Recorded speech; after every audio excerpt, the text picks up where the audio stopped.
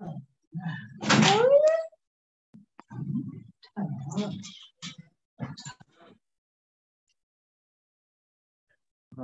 मेरा तो वीडियो हो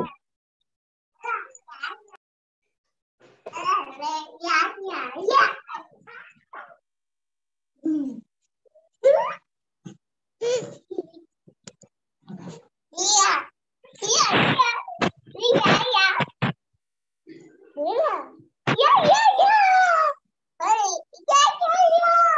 Thank you, Chuck. Mommy, mommy.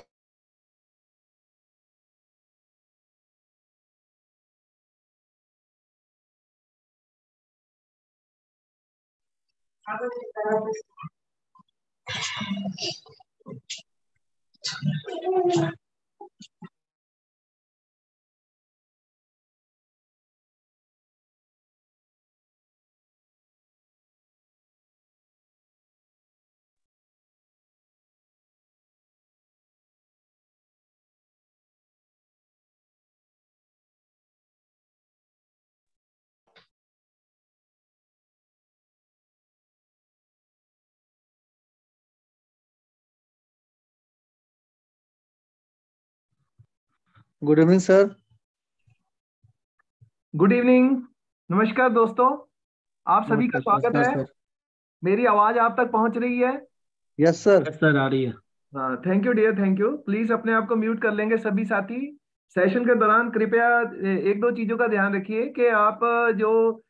Mic जब मेरे से बात करते हो रिप्लाई करते हो उसके बाद तुरंत अपने आप को म्यूट जरूर करिए दोस्तों उसका मेन कारण ये रहता है कि जो सामने वाला व्यक्ति है या मैं भी ना थोड़ा जब आवाज आती है तो मेरे से भी जो बात मैं कहना चाहता हूँ वो कह नहीं पाता तो प्लीज अपने माइक को जरूर म्यूट करते रहिए साथ साथ जवाब भी देते रहिए और म्यूट भी करते रहिए थैंक यू सो मच तो दोस्तों आज हम आपके साथ एक एम लेके आए हैं बहुत ही इम्पोर्टेंट जिसको हम बोलेंगे कि भी केवाईसी गाइडलाइंस के ऊपर है तो इसमें से आप एटलीस्ट वन क्वेश्चन जो है वो आना ही आना है तो मैं फिर से रिक्वेस्ट करूंगा आप सभी साथियों से कि अपने माइक को पहले म्यूट कर लीजिए फिर ना वो जो मजा आना होता है उसमें थोड़ी सी मजा तो आता रहता है लेकिन इतना ज्यादा मजा जो आना है वो आ, आता आ नहीं पाता तो कृपा करके अपने माइक को म्यूट रखिए ओके चलिए दोस्तों तो चलते हैं आठ बज चुके हैं तो अभी हम अपना फर्स्ट क्वेश्चन को लेके आ रहे हैं आपके सामने तो देखते हैं इसका रिप्लाई करना है आप साथियों ने और एक आपसे परमिशन लेना चाहूंगा कि जैसे ही हमारा केवाईसी गाइडलाइंस का सेशन समाप्त होगा तो इसमें आज थोड़े क्वेश्चन थोड़े हैं लेकिन मेरे पास क्वेश्चन का बैंक बहुत बड़ा है लेकिन हम उसको अभी पीपीटी फॉर्म में लेके नहीं आ पा रहे तो मैं अगर आपकी इजाजत होगी तो आपको क्वेश्चन पूछता जाऊंगा और आप आंसर वैसे करते जाइए बिना स्क्रीन के वो मिलेंगे क्वेश्चन आपको अगर आप रेडी हो तो वो मेरे को अलाउ कर दीजिए रेडी सर ठीक है okay, चलो ठीक है मैं आपको वो क्वेश्चन बाद में लेकिन अभी जो क्वेश्चन है केवाईसी गाइडलाइंस के वो आपको मैं दिखा रहा हूँ ठीक है इसका जवाब देते रहिए चलिए दोस्तों फर्स्ट क्वेश्चन आपकी स्क्रीन पे आ रहा है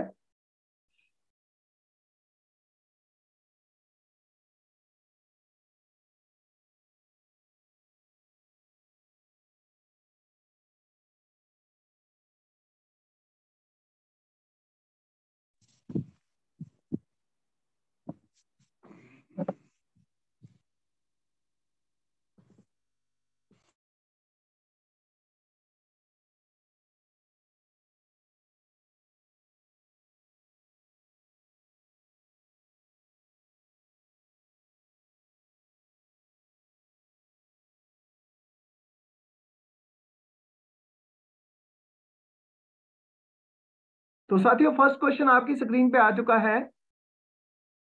KYC guideline issued by RBI under the provisions of D number sir section 35 A of PMLA act 2002 section 35 होगा सर एक साथी ने डी बोला है एक ने बी बोला है और और कोई साथी बी होगा सर बी डी शायद जी बोलिए बी सर बी चलिए होगा सर ठीक है इसका आंसर देखते हैं दोस्तों डी सर डी सर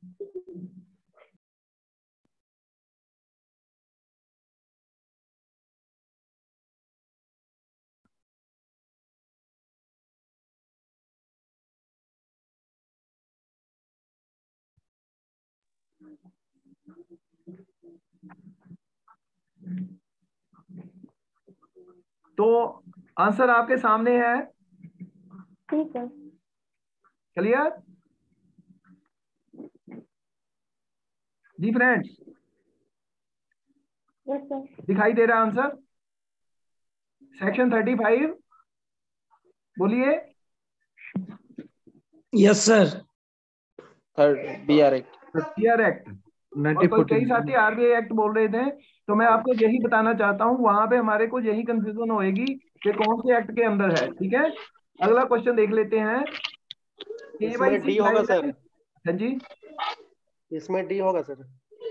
इसमें है KYC guidelines taken into account the recommendations of an international financial action task force to the appropriate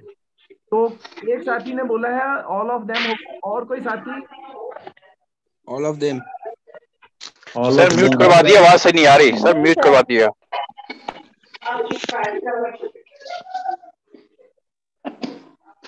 all of them sir all of them सभी साथी ऑल ऑफ देम बोल रहे हैं तो बिल्कुल सही है जवाब तो साथियों इसमें एंटी मनी लॉन्ड्रिंग स्टैंडर्ड्स उसके बाद कॉम्बेटिंग फाइनेंस ऑफ टेररिज्म और मैनिपुलेशन ऑफ इकोनॉमिक ऑफेंसेस इसमें जो सारे जो है KYC guideline taken into account recommendation international financial fart जिसको बोलते हैं तो उसके लिए है ये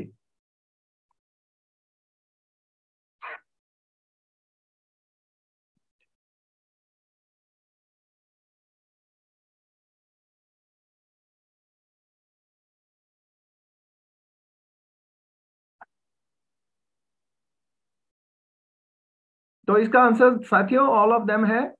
आप देख पा रहे हो नेक्स्ट क्वेश्चन पे चलते हैं in what duration of time the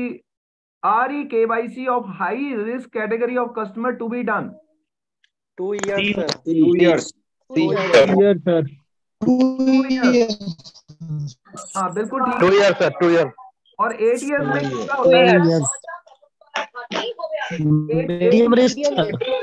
होता है medium risk customer low risk medium risk medium risk और में लो रिस्क वेरी गुड बहुत अच्छे आपका क्वेश्चन का ये जवाब बिल्कुल ठीक है कि हाई रिस्क के केस में टू इयर्स होता है बिल्कुल सही वेरी गुड बहुत अच्छे बिल्कुल टू एट टेन हाँ जी pardon two eight ten two years चलिए आगे चलते हैं दोस्तों क्वेश्चन नंबर फोर्थ है monthly cash transaction report CTR is to be submitted to F I U I N D को कितनी कब भेजी जाती है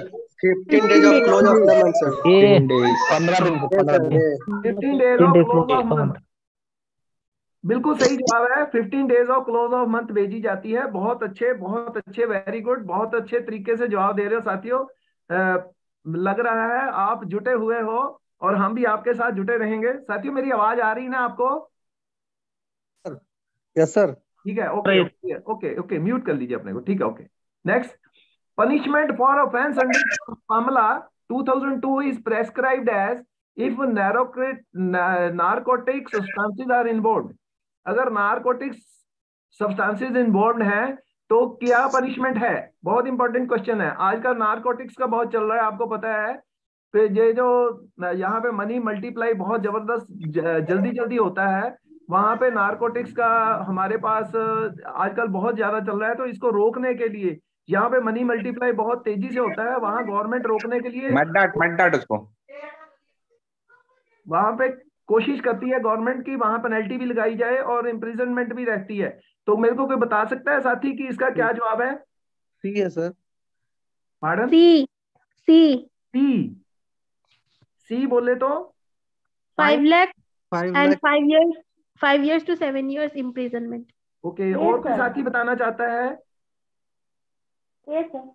और कोई साथी बताना चाहता है ये जवाब ठीक नहीं है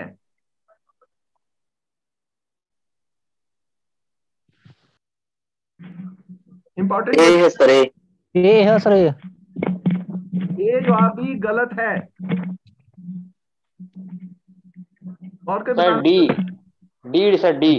D तो ये तीनों जवाब गलत हैं दोस्तों इसका राइट रिप्लाई देख लेते हैं fine up to fine lakhs and imprisonment from three S to five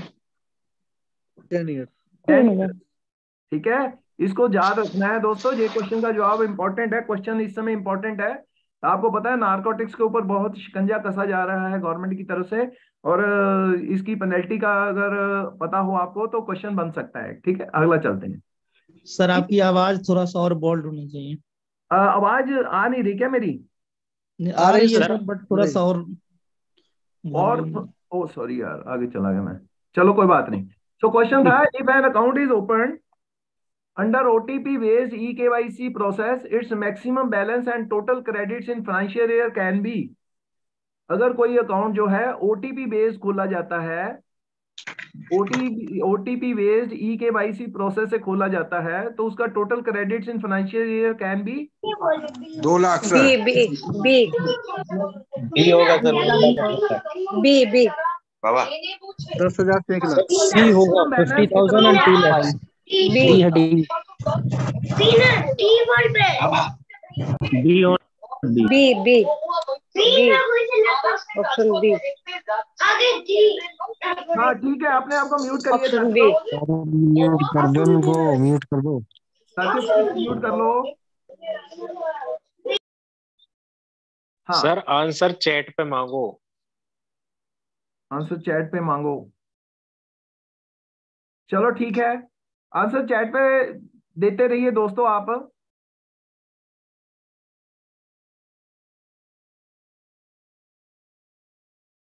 इसका आंसर चैट पे दे दीजिए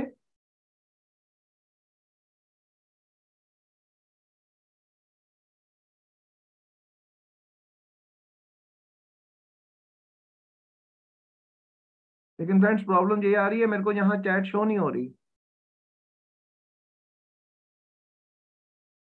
क्वेश्चन का आंसर तो बहुत सारे साथियों ने दिए हैं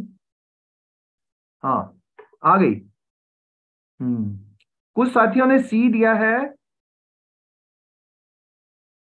प्रशांता जी ने डी दिया है अंतारा जी ने बी दिया है मानस जी ने डी दिया है तो साथियों इसका जो आंसर देख लेते हैं क्या है तो मैं आपको बताना चाहूंगा इसका आंसर है डी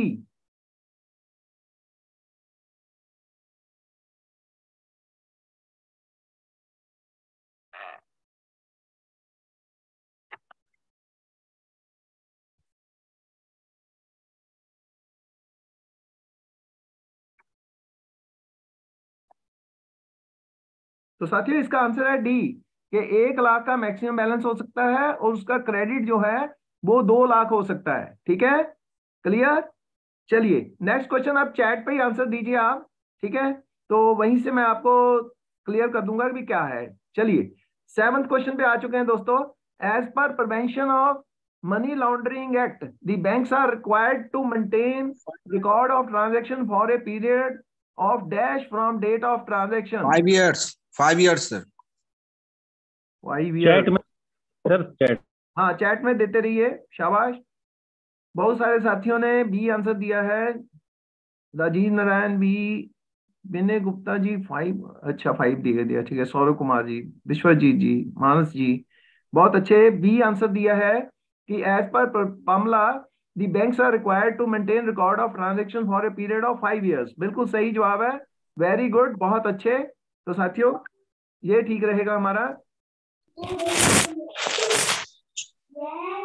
देखते हैं साथियों अपना माइक बंद कर लीजिए चैट पे ही जवाब देते रहिए बहुत बढ़िया है साथी ने अभी भी माइक खोल रखा है रिक्वेस्ट कर रहा हूँ कि प्लीज अपना माइक बंद कर लीजिए उससे सभी को फायदा होगा चलिए रिक्वेस्ट है माइक बंद कर लीजिए which of the following is an important feature of smart deposit which of the following is an important feature of smart deposit चलिए आंसर वेट कर रहा हूं मैं आप लोगों का डी ऑल नारायण जी ने डी दिया विजय रजक जी ने डी दिया बहुत अच्छे हरी सिंह जी बिल्कुल देवदास जी का भी आ गया सभी का डी है तो साथियों बिल्कुल सही जवाब है आप साथियों का कि मैक्सिमम बैलेंस इसमें shall not exceed fifty thousand total credit in financial shall not exceed one lakh और मंथली विड्रॉल जो है shall not exceed ten thousand साथियों यहाँ पे मैं आपको बताना चाहूंगा कि जो एज रिगार्ड टू रेस्ट्रिक्शन जो है वो uh, हमारे को रेस्ट्रिक्शन uh, इसमें नहीं रहा है क्योंकि तो इसमें केवाईसी जो है विद इन वन ईयर जो है अपडेट होता है तो इसलिए रेस्ट्रिक्शन इसमें अब छोड़ uh, समाप्त हो गई है तो कल जो हम क्वेश्चन डिस्कस कर रहे थे ना आप लोगों के साथ जिसमें सिक्स थाउजेंड फाइव हंड्रेड तक विड्रॉल चार हो चुके थे और पांचवी विड्रॉल उसको तीन हजार पांच सौ की पे करनी है ठीक है उसका ध्यान रखिए क्योंकि वो रिस्ट्रिक्शन शायद जुलाई बाईस में समाप्त हो चुकी है ओके फ्रेंड्स इसको नोट कर लीजिए क्वेश्चन था सर क्वेश्चन था कल कि मैंने बताया था कि भाई जुलाई मंथ में चार विड्रॉल हो चुके हैं कोई एक, एक हजार का था एक पच्चीस सौ का था टोटल उसका सिक्स थाउजेंड फाइव हंड्रेड हुआ था तो हमने ये कहा था कि जो अब इसको पेमेंट कितनी की जा सकती है तो उसमें मैंने जवाब दिया था थ्री थाउजेंड फाइव हंड्रेड तो बहुत सारे साथी कह रहे थे कि पांचवी विड्रॉल हम नहीं दे सकते तो उसका कारण ये था मैं आपको जो बता रहा हूं कि स्मार्ट डिपॉजिट में जो रिस्ट्रिक्शन है वो खत्म कर दी है as regards to maximum transaction clear तो इसलिए वहां पे ट्रांजेक्शन की लिमिट नहीं है तो वहां पेमेंट करनी है हमने थ्री थाउजेंड फाइव हंड्रेड की क्लियर तो हो गया पेमेंट एंट्री तो- करने ही नहीं देता है नहीं सर जुलाई बाईस से देखिए इसको दो दो दो अकाउंट में कन्वर्ट कर दिया एक तो B S B D A बना दिया एक स्मार्ट डिपॉजिट बना दिया एक विद केवाईसी कर दिया एक विदाउट केवाईसी कर दिया विदाउट केवाईसी वाले में है रेस्ट्रिक्शन लेकिन जो स्मार्ट डिपॉजिट अकाउंट जिसमें केवाईसी हमने साल में लेने ने उसमें हमारी रेस्ट्रिक्शन खत्म कर दी है समाप्त कर दी है अच्छा ठीक है चलिए आगे चलते हैं दोस्तों इसका आंसर देख लेते हैं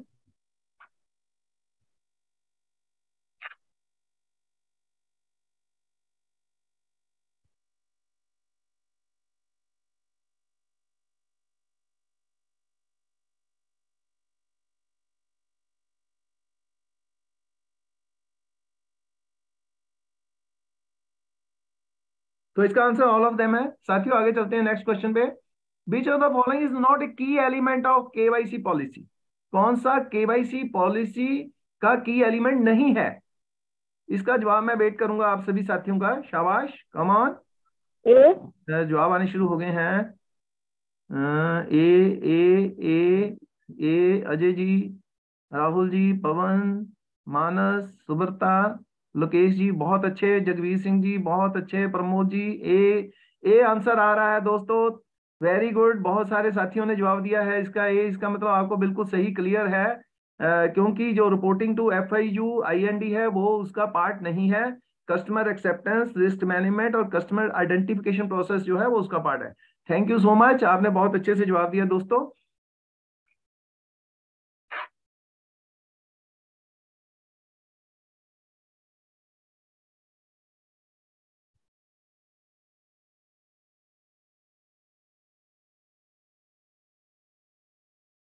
चलिए नेक्स्ट क्वेश्चन है in case of a company who will be the beneficial owner साथियों जो क्वेश्चन आ रहा है इसको जरा ध्यान से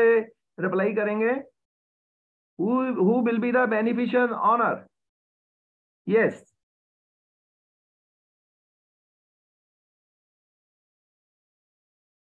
Arvind ji Rajiv ji very good ठीक है सही जवाब आ रहे हैं आपके पूजा जी पूजा सिंह जी का भी जवाब ठीक है उमेश सिंह जी जगवीर सिंह जी धरेंद्र जी बिल्कुल सही एक साथी ने सी जवाब दिया है दलीप जी नहीं दलीप जी सी नहीं है सो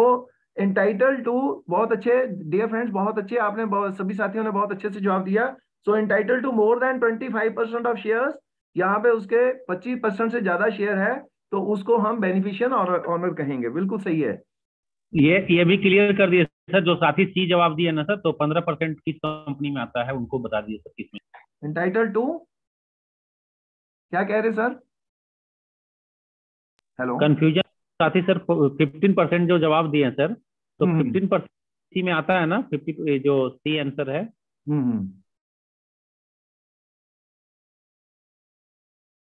इंटाइटल हम्म, टू हम्म। मैं समझा नहीं सर आपकी बात आप क्लियर करिए थोड़ा चलिए सर आगे आगे आगे बढ़ते हैं बाद में हम लोग डिस्कस करेंगे हाँ। और साथी को बता दीजिए करके ये बोल रहे हैं वो हाँ और साथी की entitle to more than twenty five percent of share जो है पच्चीस परसेंट से ज्यादा शेयर है तभी उसका बेनिफिशियल ऑनर बोला जाएगा ओके सर ठीक है नेक्स्ट सर कंपनी को छोड़ के पंद्रह परसेंट चलिए साथियों आगे चलते हैं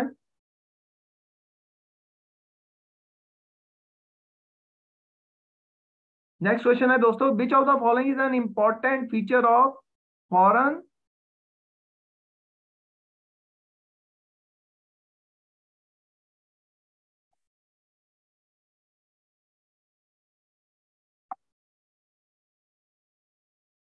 हाँ जी which of the following is an important feature of foreign students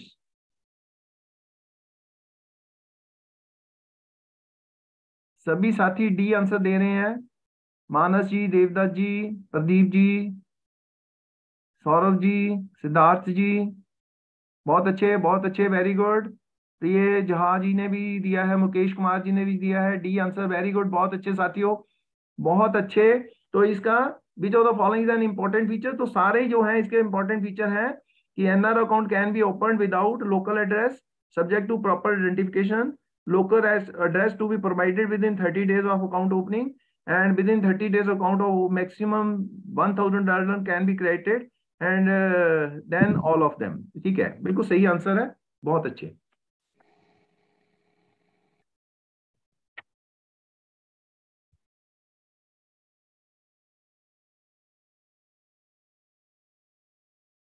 थोड़ा साथियों आपको प्रॉब्लम आ रही होगी क्योंकि मेरे को बार बार ये थोड़ा सा लैपटॉप मेरा प्रॉब्लम कर रहा है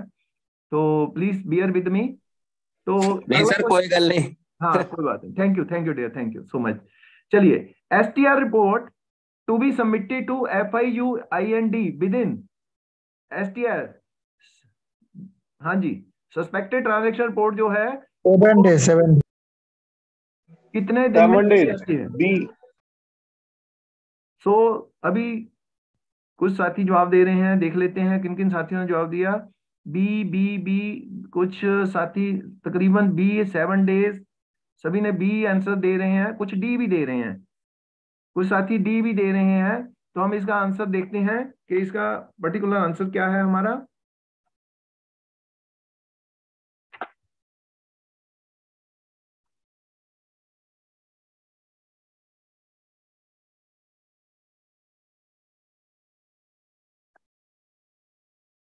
तो within seven days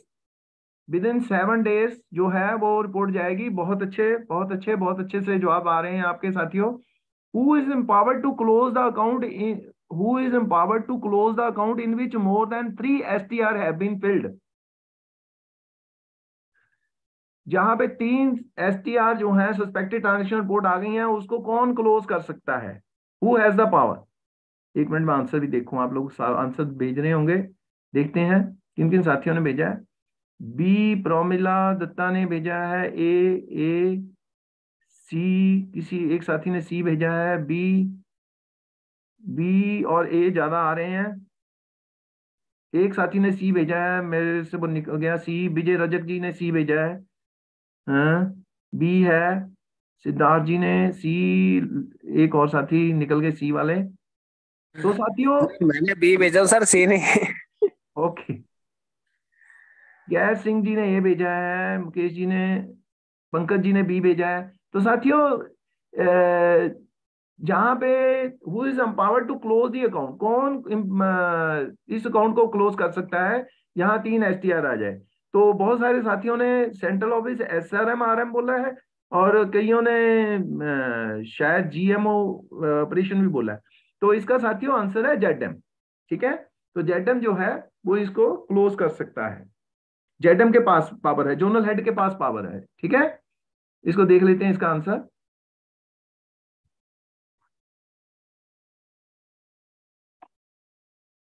तो जेड एम जोनल हेड जो है इसका पावर रहेगा ठीक है इसको याद रखना है वहां पे गलती ना हो जाए ओके नेक्स्ट क्वेश्चन आपका आ गया counterfeit notes to be preserve for a period of dash receive from police authorities counterfeit notes to be preserve for a period of कितनी देर के लिए प्रिजर्व करने होते हैं साथियों ने जवाब देना शुरू कर दिया let me let me check एक मिनट निकल गए बहुत सारे जवाब निकल गए हैं B D A five three A D कुछ ए दे रहे हैं कुछ बी दे रहे हैं कुछ डी दे रहे हैं कुछ तीन लिख रहे हैं बल्कि थ्री ईयर्स बोल रहे हैं तो जो डी दे रहे हैं उनका जवाब दुरुस्त है क्योंकि तीन साल तक के लिए हमारे को वो प्रिजर्व करना पड़ता है बहुत अच्छे बहुत अच्छे सभी को सभी से मैं संतुष्ट हूं कि आप सभी साथी जो है रियली मैं हार्ड वर्क कर रहे हो और मेरे को भी मजा आ रहा है जब आप इतना प्रॉपरली आंसर दे रहे हो तो मेरे को रियली में बहुत मजा आ रहा है वेरी गुड बहुत अच्छे तो इसका जवाब था थ्री इयर्स ओके आगे चलते हैं क्वेश्चन नंबर फिफ्टीन पे how many types of identifiers are there as per KYC policies? How many types of identifiers are there as per KYC policies? Four. देखते हैं जवाब डी चार जो है वो जवाब दिया है बहुत अच्छे बहुत साथियों ने जो है डी आंसर को रिप्लाई किया है तो लेटर सी इसका आंसर क्या है बहुत अच्छे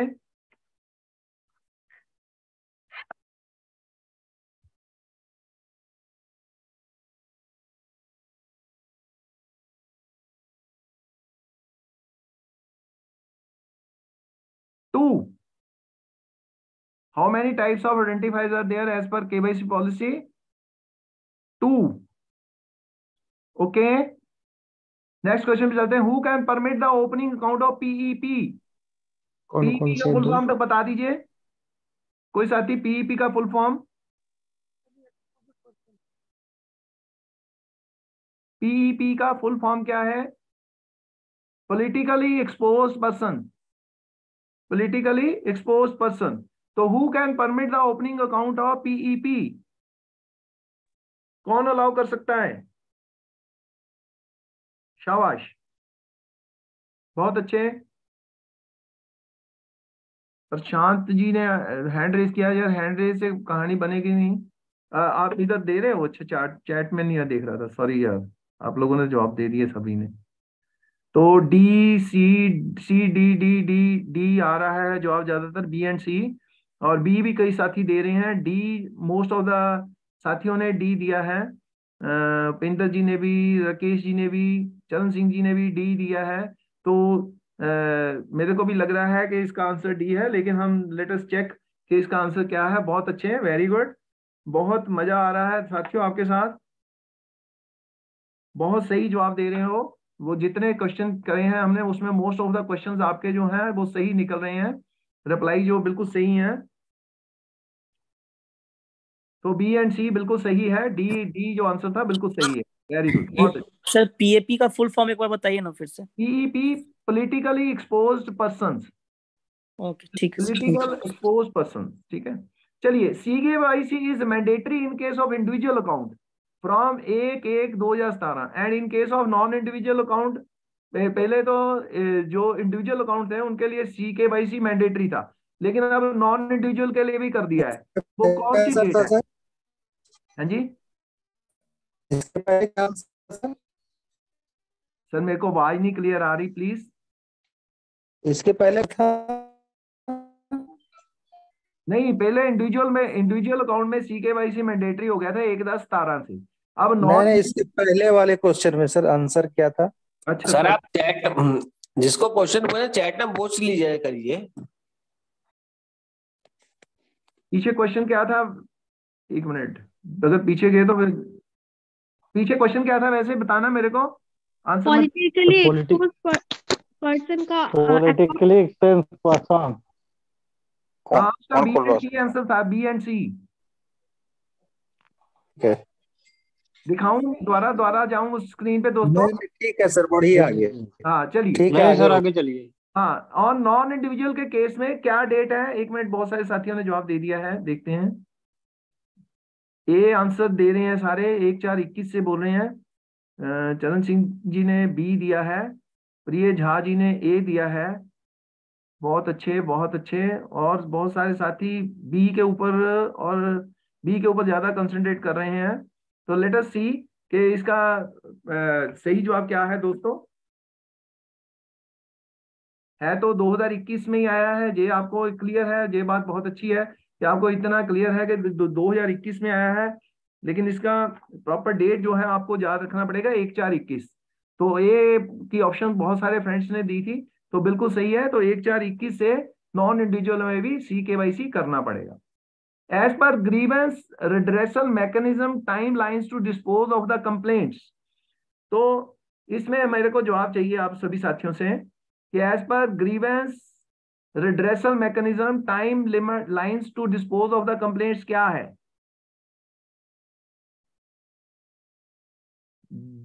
कुंदन कुमार जी दलीप जी जोगिंदर जी बस्ता हंसराणा जी विजय जी प्रदीप जी राजीव जी जगवीर जी हरि सिंह जी एक साथी ने ए दे दिया अजय कुमार जी पंकज कुमार जी तो बहुत सारे साथियों ने डी आंसर दिया है साथियों वेरी गुड तो देखिए इसमें है कि ब्रांच लेवल पे less than two working days में जवाब देना होता है कंप्लेंट का रीजनल ऑफिस ने तीन वर्किंग डेज में जवाब देना होता है और जेडो लेवल पे चार वर्किंग डेज है और सेंट्रल ऑफिस लेवल पे less than five working days है तो इसमें ऑल ऑफ देम जो है जो वो जवाब ठीक रहेगा दोस्तों इसको चेक कर लेते हैं एक बार कि हमारा आंसर क्या है ठीक है बहुत अच्छे बहुत अच्छे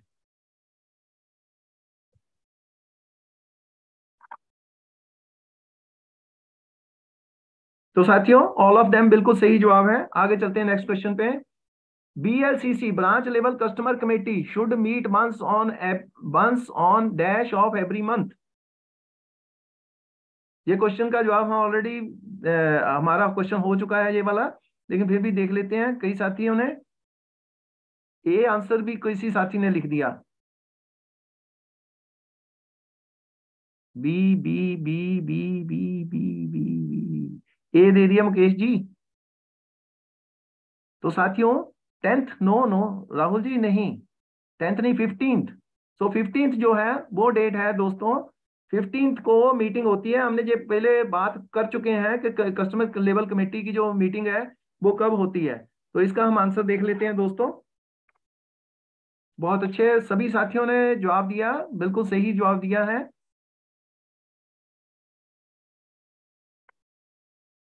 बहुत अच्छे बहुत अच्छे चलिए बिल्कुल ठीक है fifteenth of the each fifteenth of every month जो है कमेटी की मीटिंग होती है तो F I U I N D stand for yes F I U I N D stand for answer chat में देख रहा हूं मैं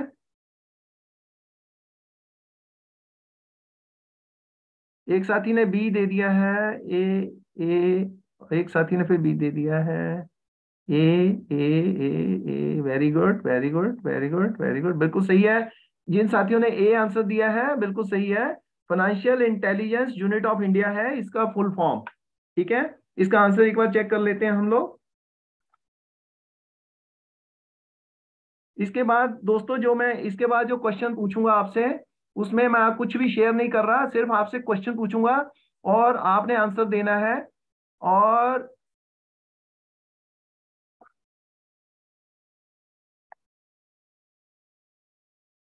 so financial intelligence unit of India ठीक है तो चलिए दोस्तों अब मैं आपके साथ ये पीपीटी शेयर करनी बंद कर रहा हूं और मैं आपसे क्वेश्चन अब डायरेक्ट पूछ रहा हूं उसका मेरे को जवाब चाहिए आप लोगों से ठीक है तो चलिए क्वेश्चन आपका जो पहला है वो आप एक सर सब एक देंगे जवाब तो फिर दिक्कत हो जाएगा सर आपके सामने जो है ना सर एक एक क्वेश्चन एक एक लोग से पूछ लीजिए सर वो ज्यादा अच्छा रहेगा एक एक क्वेश्चन कैसे पूछ लू एक एक करके पूछिए सर किसी किसी एक पार्टिकुलर पर्सन से अच्छा सब सुन लेगा जवाब भी मिल जाएगा हम्म। चलिए फिर मेरे को यार यहाँ पे नाम भी दिखाई नहीं देंगे साथियों के ना चलो मैं क्वेश्चन पहले पूछता हूँ एक है ना तो क्वेश्चन सर आपके सामने आ रहा है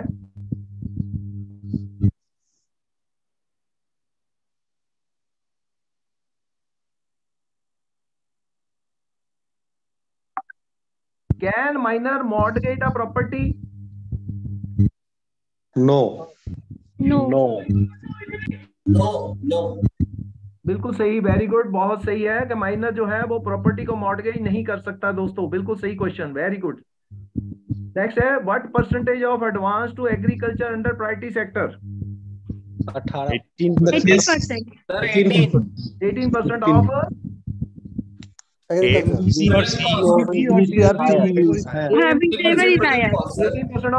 बिल्कुल सही है जवाब आगे चलते हैं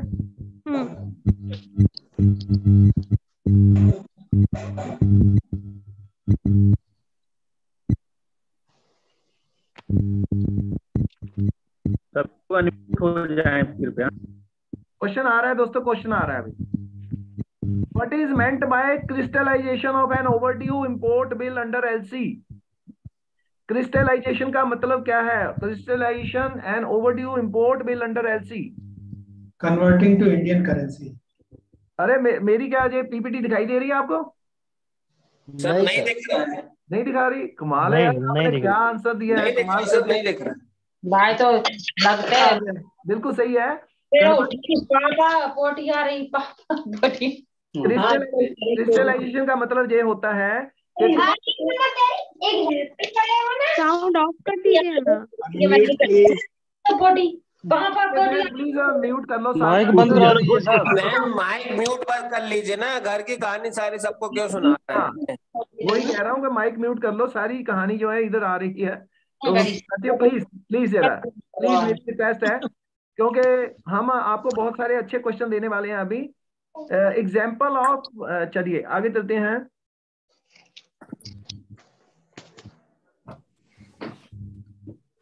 पिछला क्वेश्चन एक बार रिपीट कर दीजिए सर कौन सा किस तरह कौन सा पहला क्वेश्चन हमने पूछा है what is the percentage of advance to agriculture under priority sector तो एक दूसरा क्वेश्चन क्रिस्टलाइजेशन क्या है क्रिस्टलाइजेशन क्या है ये था क्वेश्चन हाँ, क्रिस्टलाइजेशन क्रिस्टलाइजेशन हाँ, का मतलब ये होता है जब हम converting bills into Indian rupees हम जो क्रिस्टलाइजेशन का मतलब समझ लीजिए मैंने पहले भी समझाया था जब फॉरेन एक्सचेंज की क्लास ली थी उसका मतलब ये होता है कोई बिल जब ओवरड्यू हो जाता है ओवरड्यू होने के केस में हम क्या करते हैं हम जो हमारा इंपोर्टर होता है या एक्सपोर्टर होता है उसको हम क्या बोलते हैं कि भाई हमारे को भैया हमारे पैसे वापस कर दो अब क्योंकि तुम्हारे जो पैसे आएंगे नहीं ओवर ड्यू हो चुका है तुम आपस में बाद में जो मर्जी करो लेकिन हमारे को पैसे दे दो समझ रहे हो मेरी बात तो हम उसको फिर उसकी लेबिलिटी फिक्स कर देते हैं लेबिलिटी कैसे फिक्स होगी मान लो यूएस डॉलर में पेमेंट करी हमने आज उसको एक लाख डॉलर की पेमेंट करी थी आज से एक सौ अस्सी दिन पहले आज उसका बिल क्रिस्टलाइज करना है तो उसको क्या करेंगे इंडियन मतलब की यूएस डॉलर का जो रेट आज है उसको कन्वर्ट कर देंगे इंडियन रूपी में समझिए मान लो एट्टी है अगर एक लाख का हमने किया था तो एक लाख गुना एटी थ्री करके तो जो आज के रेट पे बनेगा वो हमारे को क्रिस्टलाइजेशन हो गया उसकी जो अमाउंट है इतनी हमने फिक्स कर दी कि भैया इतनी लेबिलिटी है जो हमारे को पैसे दे दो सर क्लियर हो गया सर पीपीटी नहीं दिख रहा है सर इसमें नहीं, नहीं दिख रही मैंने पहले आपसे रिक्वेस्ट करी है कि पीपीटी दिखाई नहीं देगा क्योंकि मैं अच्छा। आपको सिर्फ क्वेश्चन पूछ रहा हूँ क्योंकि अभी जे क्वेश्चन जे इस क्वेश्चन की पीपीटी तैयार नहीं करी है ओके okay. तो मैंने रिक्वेस्ट कर ली थी आप सभी साथियों से कि भाई मैं आपसे क्वेश्चन पूछ सकता हूँ लेकिन दिखा नहीं पाऊंगा तो चलो चलता रहे काम काम चलता रहे जहाँ रोको सर ऐसे ऐसे सर रिवीजन नहीं हो पाएगा ठीक से नहीं हो पा रहा नहीं हो पा रहा है सर क्लासेस में थोड़ा सा इतना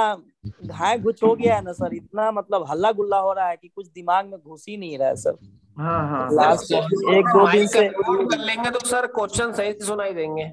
एक्चुअली सर क्या है ना एग्जाम इतना नजदीक इतना घाय घुच हो रहा है ना कि मतलब कुछ घुस ही नहीं रहा है दिमाग में क्या परीक्षा दे नहीं नहीं कोई बात नहीं मतलब देखिए मेरी बात समझिए थोड़ा संयम से लीजिए काम तो आपको पांच दस क्वेश्चन जो है और मैं ट्राई करवा देता हूँ उससे क्या होगा कि आपको आपके लिए अच्छे क्वेश्चन की लिस्ट में आपके कुछ क्वेश्चन और आ जाएंगे सभी तो से निवेदन है कि अपने आप को म्यूट रखिए म्यूट रखिए सभी को चलिए क्वेश्चन है within how many days under sulfacy sale notice to be published after taking physical possession physical possession लेने के कितने समय बाद हम सेल नोटिस जारी कर सकते हैं मेरा क्वेश्चन फिर से सुनिए जो मैं क्वेश्चन आपको कह रहा हूं ध्यान से सुनिए within how many days under SARFAESI sale notice is to be published after taking physical possession जब फिजिकल पोजेशन ले लिया तो उसके कितने दिन बाद हम सेल नोटिस छाप सकते हैं सिक्सटी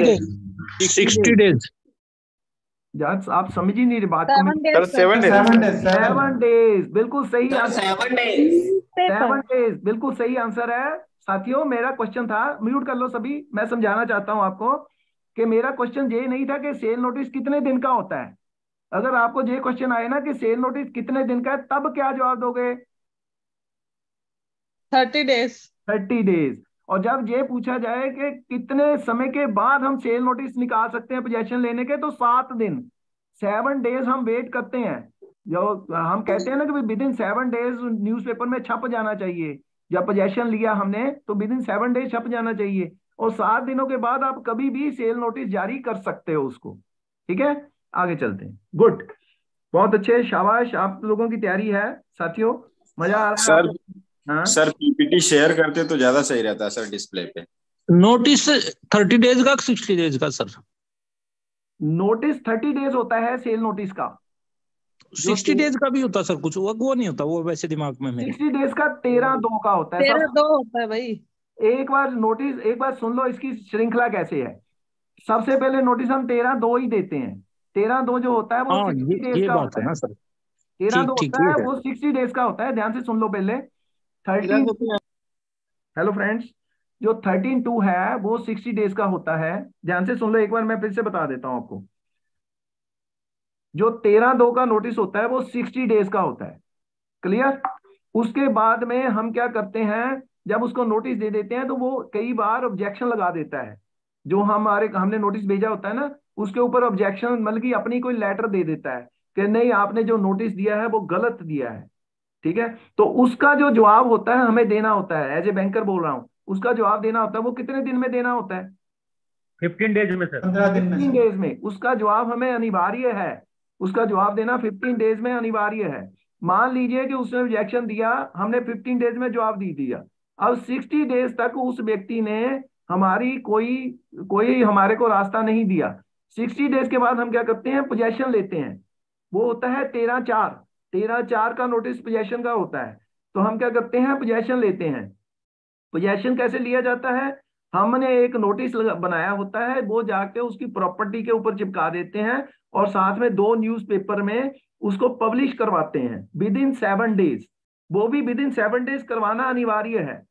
और जब आपने सात दिनों के अंदर उसको पब्लिश करवा दिया और पार्टी जो है वो सात दिन के बाद भी नहीं आपके पास आई तो अब आप बैठे आप वेट थोड़ी करते रहोगे आपको है अब आपको अपने पैसे रिकवर करने हैं तो आप उसके बाद सात दिनों के बाद आप उसको एक सेल नोटिस देते हो जो सेल नोटिस होता है वो थर्टी डेज का होता है क्लियर वो सेल नोटिस है वो थर्टी डेज का होता है तीस दिन हम उसको लोगों को कहते हैं कि तीस दिन में अपनी बिड्स भेजो हमने इस प्रॉपर्टी को इस रेट पे भेजना बेचना है आप हमारे पास बिड्स बेचो भेजो तो वो बिड्स भेज देते हैं फिर जिसकी हाईएस्ट बिड होती है उसको हम वो प्रॉपर्टी सेल करते हैं क्लियर चलिए जी किसी का क्वेश्चन है और इसमें हाँ तो तेरह चार क्या तेरह चार जो है वो पोजेशन नोटिस है थर्टीन फोर जो है वो पोजेशन नोटिस होता है जो कि हमने जाके उसके उसकी प्रॉपर्टी के ऊपर पेस्ट करते हैं के और साथ में फोटो खींचते हैं और बाद में उसी नोटिस को दो न्यूज़पेपर में छापते हैं ओके okay, ये तेरह चार इसका मतलब कोई प्रारूप है कोई तेरह हजार का प्रारूप है अच्छा अच्छा, अच्छा हाँ सर्वेसी एक्ट में दिया हुआ है वो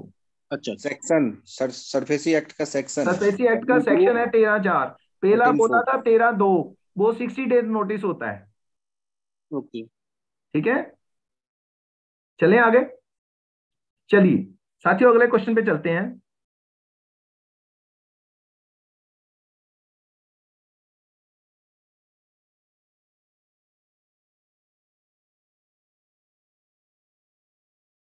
चलिए इस क्वेश्चन का जवाब मेरे को चाहिए आप सभी से when a loan is paid by a guarantor the right on security goes to guarantor what is the right जब कोई पेमेंट ग्रंटर कर देता है right of subrogation right of subrogation बिल्कुल सही जवाब बिल्कुल सही जवाब क्वेश्चन ये था कि जब कोई ग्रंटर पेमेंट करता है बारोर के बिहार पे तो उस समय जो ग्रंटर के पास राइट जाता है वो कौन सा राइट जाता है उसको बोलते हैं right of subrogation right of subrogation का मतलब क्या होता है कि जो ग्रंटर है अब बारोवर से उसी प्रकार पैसे रिकवर कर सकता है जैसे कि उसने जैसे कि क्रेडिटर के पास राइट थे जैसे मतलब कि बैंक सपोज कर लो एक ग्रंटर ने बैंकर को पेमेंट किया अब बैंक को पेमेंट करने के बाद जो बैंक के पास राइट थे वही राइट किसके पास आ जाते हैं ग्रंटर के पास आ जाते हैं उसको राइट ऑफ ग्रंटर बोलते हैं क्लियर राइट ऑफ सब्रोगेशन बोलते हैं ठीक है चलिए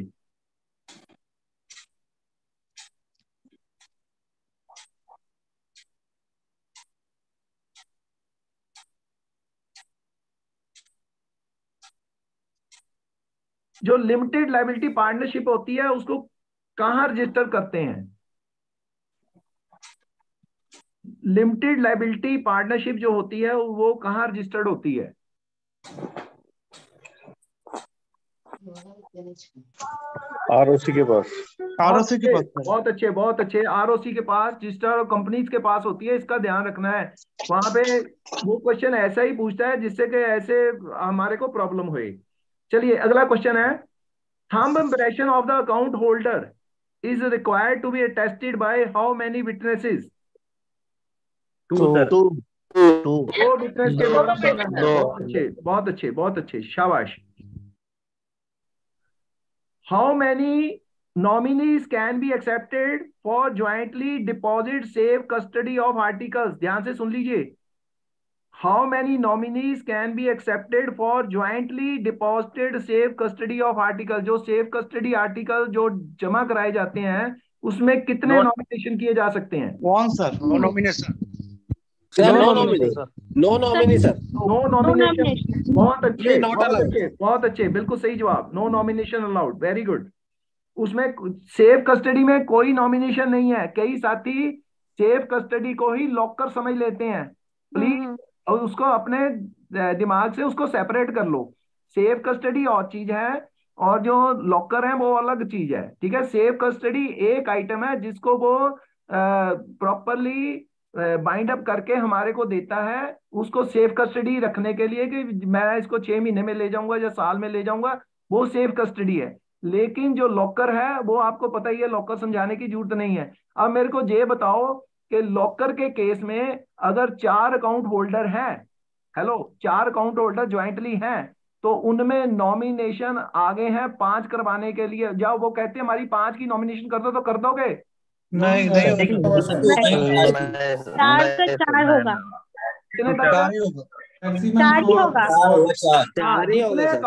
है हाँ। उससे ज्यादा नॉमिनेशन नहीं हो सकते ठीक है नहीं होगा सर सर्कुलर में नहीं है बहुत अच्छे वेरी गुड बिल्कुल सही ज्वाइंट अकाउंट सेविंग अकाउंट में कितना नॉमिनेशन जा सकता है एक एक ही एक, एक, सिर्फ लॉकर में ही नॉमिनेशन ज्यादा कर सकते हैं वो भी account holder number of account holder से ज्यादा नहीं हो सकते मान लो हम्म। चार अकाउंट होल्डर ने खोला है तो पांच नहीं कर सकते नॉमिनी वो चार ही करेंगे या तीन सर आपने समझाया था तीन खोला है तो सर तीन ही होगा हम्म, अगर number of account holder equal to number of nominee hello number of account holders equal to number of या लेस देन दैट या लेस देन mm-hmm. या लेस देन दैट ठीक है ओके वेरी गुड बहुत अच्छा, अच्छा। चलिए सर एक इक्वल टू सब समय होगा क्या दो जॉइंटली अकाउंट लॉकर में तो सिंगल नॉमिनी हो सकता है हाँ हाँ लेस हाँ, देन हो सकते हैं लेस देन हो सकते हैं लेस देन और इज इक्वल टू सर हाँ लेस देन तो तो होगा बट आगे नहीं होगा ना हाँ हाँ ठीक है अगला क्वेश्चन दोस्तों मैं दे रहा हूं अभी आपको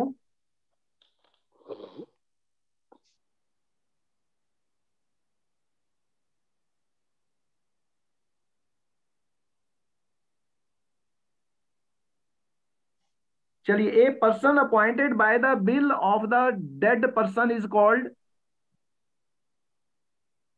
a person appointed by the will क्या बोलते हैं उसको क्वेश्चन रिपीट कीजिए a person appointed by the will of the dead person एक पर्सन uh, की डेथ की बिल के मुताबिक जो टेस्टिमोनियल बोलते हैं अंडर राइटर क्वेश्चन ध्यान से सुनिए executor executor executor yes executor बोलते हैं उसको a person appointed by the will of the dead person is called executor बहुत अच्छे कल एक क्वेश्चन पूछा था a person appointed by the court When no one named in the bill of the dead person is called. Administrator. Administrator. Administrator. बहुत अच्छे शाबाश very good बहुत अच्छे तो टेस्टामेंटरी गार्जियन क्या होता है ha wo bhi bol raha hu A guardian appointed by a court on the basis of bill is called a guardian appointed by a court on the basis of bill yes. के base के ऊपर court ने किसी बंदे को appoint किया उसको क्या बोलते हैं वही बोलते हैं जो अभी आपने बोला था टेस्टामेंट्री गार्ड बिल्कुल टेस्टामेंट्री गार्जियन जिसको बोलते हैं okay guardian type of three प्रकार हाँ सही है तीनों समझ लगी आपको एग्जीक्यूटर कौन है एडमिनिस्ट्रेटर कौन है टेस्टामेंट्री गार्जियन कौन है ठीक है चलिए अगला क्वेश्चन पूछते हैं आपसे what is the maximum loan amount which can be sanction under Shishu segment of Mudra 50000 Tarun में बहुत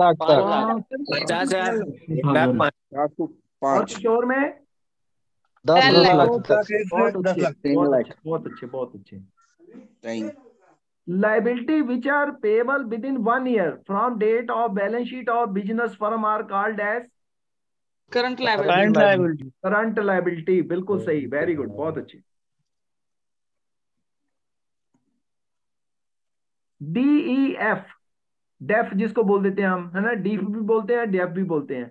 is establish under which act six pardon banking regulation act कितना बोला sir twenty six A twenty six A B R act of twenty section twenty six A of B R act उसमें इसका defined है शाबाश डेबुलेटर uh, खाली अपना अच्छा, मैं नेक्स्ट क्वेश्चन पूछ रहा हूँ आपसे अभी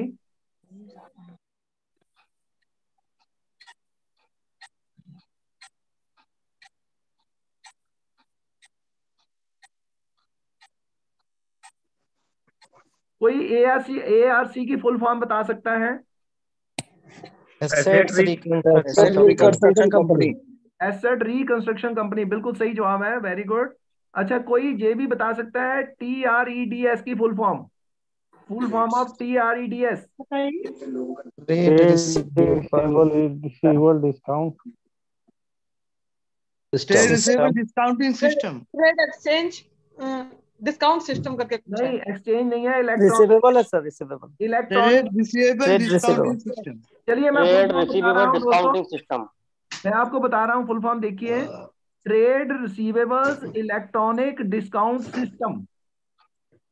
trade receivables electronic discount system इसकी फुल फॉर्म है ओके okay?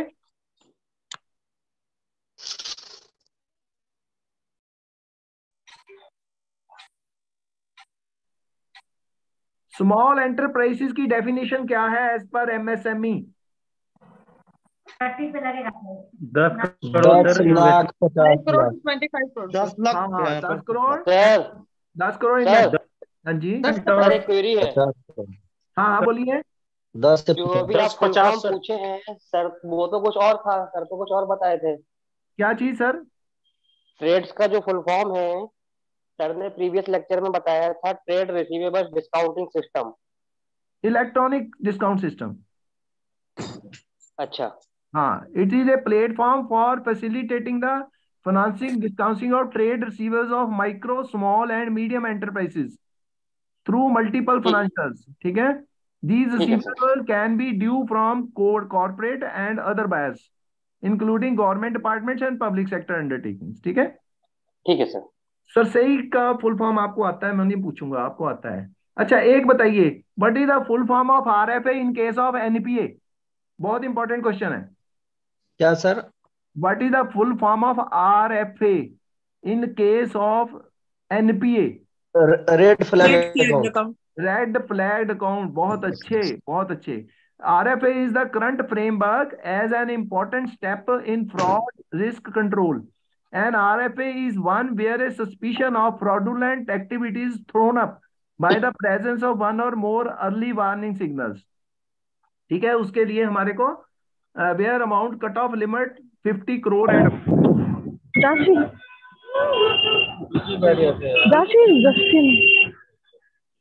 चलिए ये बताइए what is a land criteria for marginal farmer सही नहीं दी तो क्या होगी 1 hectare, sir. 1 hectare. 1 hectare. Mute नहीं तो तो म्यूट तो कर म्यूट हाँ। हाँ, करने को बोलिए ना सर म्यूट कराइए सर म्यूट बाहर कौन खोल दिया इसका आनंद आज जो अच्छा, गच बच गच बच अच्छा, हो गया करूंगी ना रुक जाओ मेरी क्लास चल रही है म्यूट हाँ। प्लीज कि तो- का कुछ तो नहीं बन रहा तो बात बन नहीं रही सर कराइए आप प्लीज कराइए सर आप आप कराइए म्यूट करा दीजिएगा सर प्लीज आज श्योर कराऊं जी जी कराइए आप प्लीज हाँ म्यूट करा दीजिए म्यूट कर लोगे ना आप सभी तो आपको आनंद आ जाएगा दस बारह क्वेश्चन और पूछ लूंगा आप करा दीजिए ना सर हाँ प्लीज हाँ, जरा जब बच्चों की बात आती है ना बीच में थोड़ा सा गड़बड़ होता है सर आप तो सभी को म्यूट करवा दें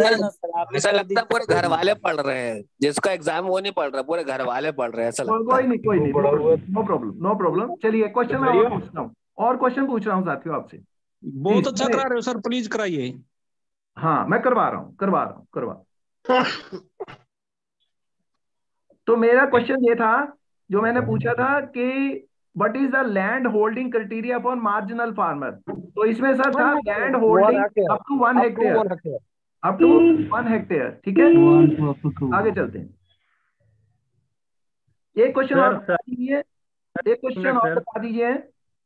सर सभी लोगों को सर जिनको जवाब देना है सर यहाँ से भी रखता है यहाँ से भी निकालते हैं चलो ठीक है तो आप जिनको तो भी जवाब दे रहे हैं तो सारे हम्म। चैट बॉक्स में देंगे जवाब ठीक है तभी अपने आप को म्यूट कर लो ठीक है चलिए अब मेरा क्वेश्चन है what is the criteria for housing loans to individuals in metropolitan centres are eligible sector आज गई मैक्सी मैक्सी में खाली है इसने एक एक आज नया बर्गर खाया दो बर्गर खाया ना दो अंजू मैडम प्लीज म्यूट कर लीजिए अरे बर्गर बाद में खाइएगा ना बउआ अंजू मैडम म्यूट कर लीजिए सब बोल रहे हैं अमृतसर अमृतसर सुनिए ना आप लोग प्लीज चुप रहिए अमृतसर हाँ। आप सबको म्यूट करवा दीजिए सर और हाँ, आंसर आप प्लीज बताते जाइए लोग अपने मन में आंसर भी देंगे और सुनेंगे भी सर प्लीज जी, जी सर ऐसे ही करते हैं हाँ सर सारे को म्यूट करके आप क्वेश्चन भी पढ़िए सर आंसर आप बताइए सारे लोग अपना मन में ही आंसर देंगे सही है ना ऐसे रिविजन भी हो जाएगा और आपकी आवाज भी आएगी सर प्लीज सबको म्यूट कर दीजिए ठीक है सर ठीक है मैं सर से करवाता हूँ एक मिनट लगेगा आपको दोस्तों जरा ठीक है प्लीज वन मिनट सर सभी कैंडिडेट्स को बोल दे अलग से बैठें या फिर म्यूट रखें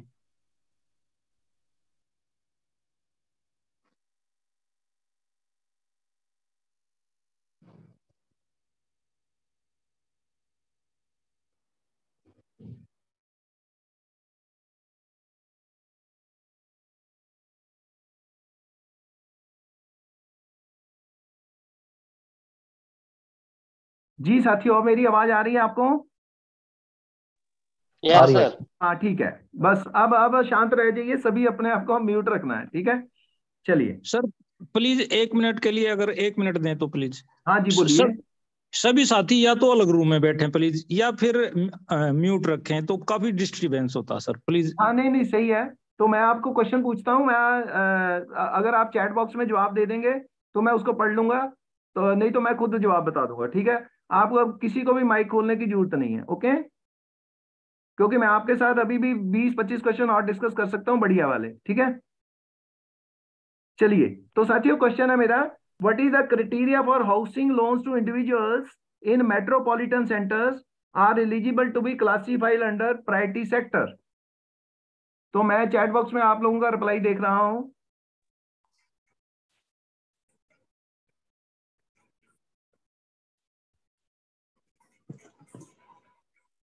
थर्टी फाइव थर्टी फाइव सभी साथी थर्टी फाइव दे रहे हैं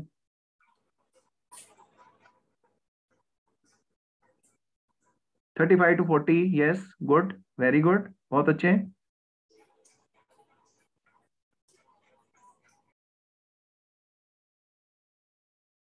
हाँ बहुत सारे साथियों ने जवाब सही दिया है साथियों मैं इसको बता देना चाहता हूं आपको इसमें मैक्सिमम लोन जो है वो थर्टी फाइव लैक्स है और मैक्सिमम उसकी प्रोजेक्ट कॉस्ट जो है वो फाइव लैक्स होनी चाहिए ठीक है बहुत अच्छा बहुत साथियों ने सही जवाब दिया है इसका housing loan to individuals up to five lakhs in metropolitan centres with population of ten lakhs and above and rupees twenty five lakhs in other centres ये हमने बात करी हुई आपसे तो साथियों को क्लियर है तो हम आगे चलते हैं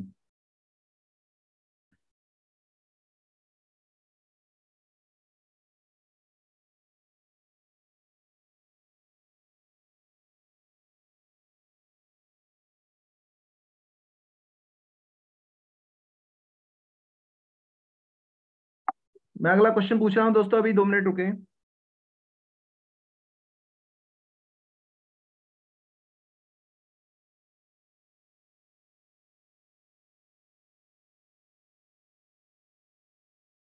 कोई बता सकते हैं what is the provision in standard MSME account standard MSME account में कितनी प्रोविजन रहती है वो आप मेरे को प्लीज चैट बॉक्स में लिखिए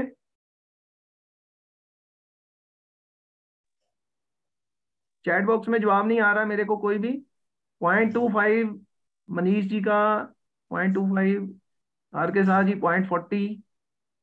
Subrata Ghosh point twenty five कोई पॉइंट वन फाइव भी लिख दिया फिफ्टीन परसेंट नो नो हमने स्टैंडर्ड में पूछा है स्टैंडर्ड में पूछा है स्टैंडर्ड में point two five Pooja Singh ji ने point point two five Vijay Rajak ji point two five point two five बिल्कुल सही आंसर है दोस्तों वेरी गुड बहुत अच्छे हैं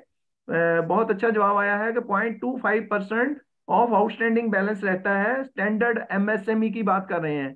एसएमए की नहीं बात कर रहे हैं हम ठीक है इसको जरा ध्यान रखिए चलिए आगे चलते हैं दोस्तों नेक्स्ट क्वेश्चन है मेरा who deals corporate cases in IBC IBC में कॉर्पोरेट केसेस को कौन डील करता है कॉर्पोरेट केसेस को कौन डील करता है आईबीसी में आईबीसी समझते हो ना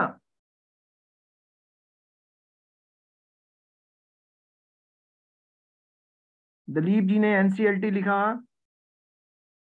और कोई साथी एनसीएलटी बहुत अच्छे बिल्कुल सही जवाब है NCLT national company law tribunal बिल्कुल सही जवाब है दोस्तों एनसीएलटी जो है वो कॉरपोरेट केसेस को डील करता है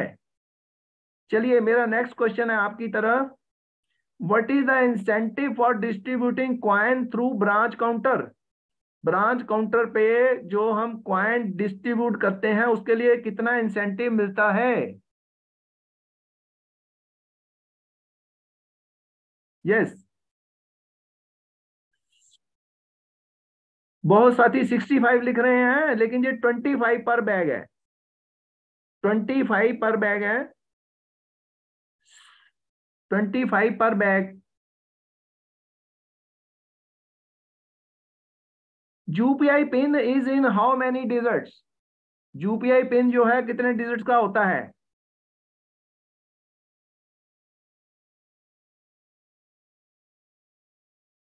बहुत सारे साथियों ने छह डिजिट लिखा है छह डिजिट बिल्कुल सही जवाब है वेरी गुड बहुत अच्छे सो यूपीआई डिजिट जो यूपीआई पिन है वो सिक्स डिजिट का है बहुत अच्छे चलिए दोस्तों मैं और क्वेश्चन पूछ रहा हूँ आपसे अभी आपको रुकना पड़ेगा थोड़ा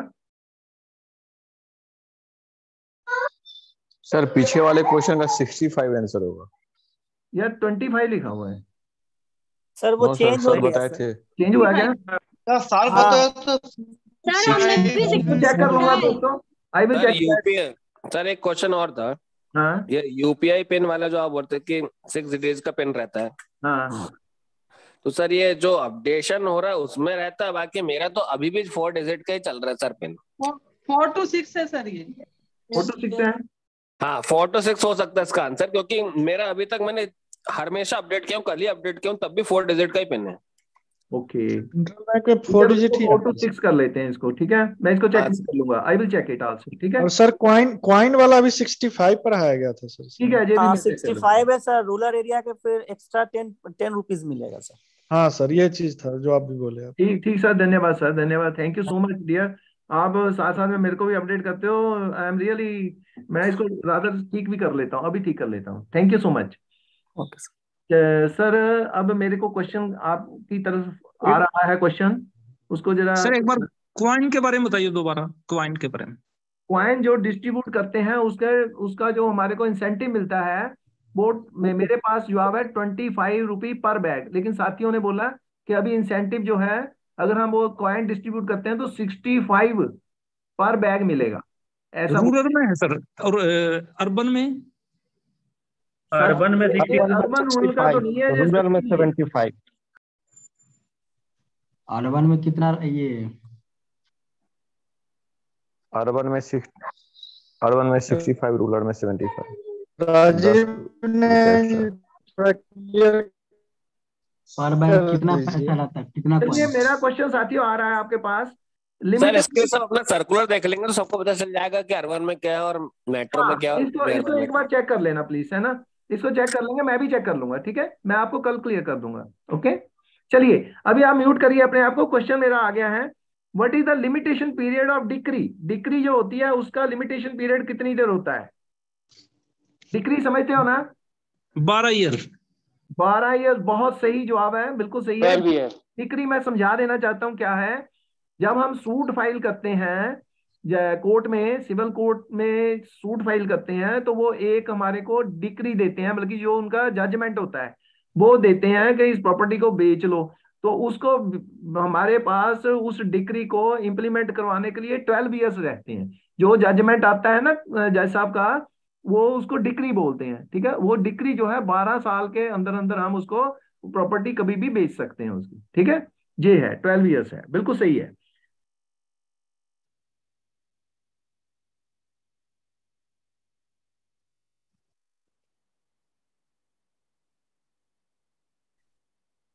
जवाब सभी लोग चैट में दीजिए हाँ मैं क्वेश्चन दे रहा हूं आपको what is down payment of OTS amount under special OTS scheme. What is down payment? मेरे को चैट बॉक्स में दिखे नहीं down payment cash down payment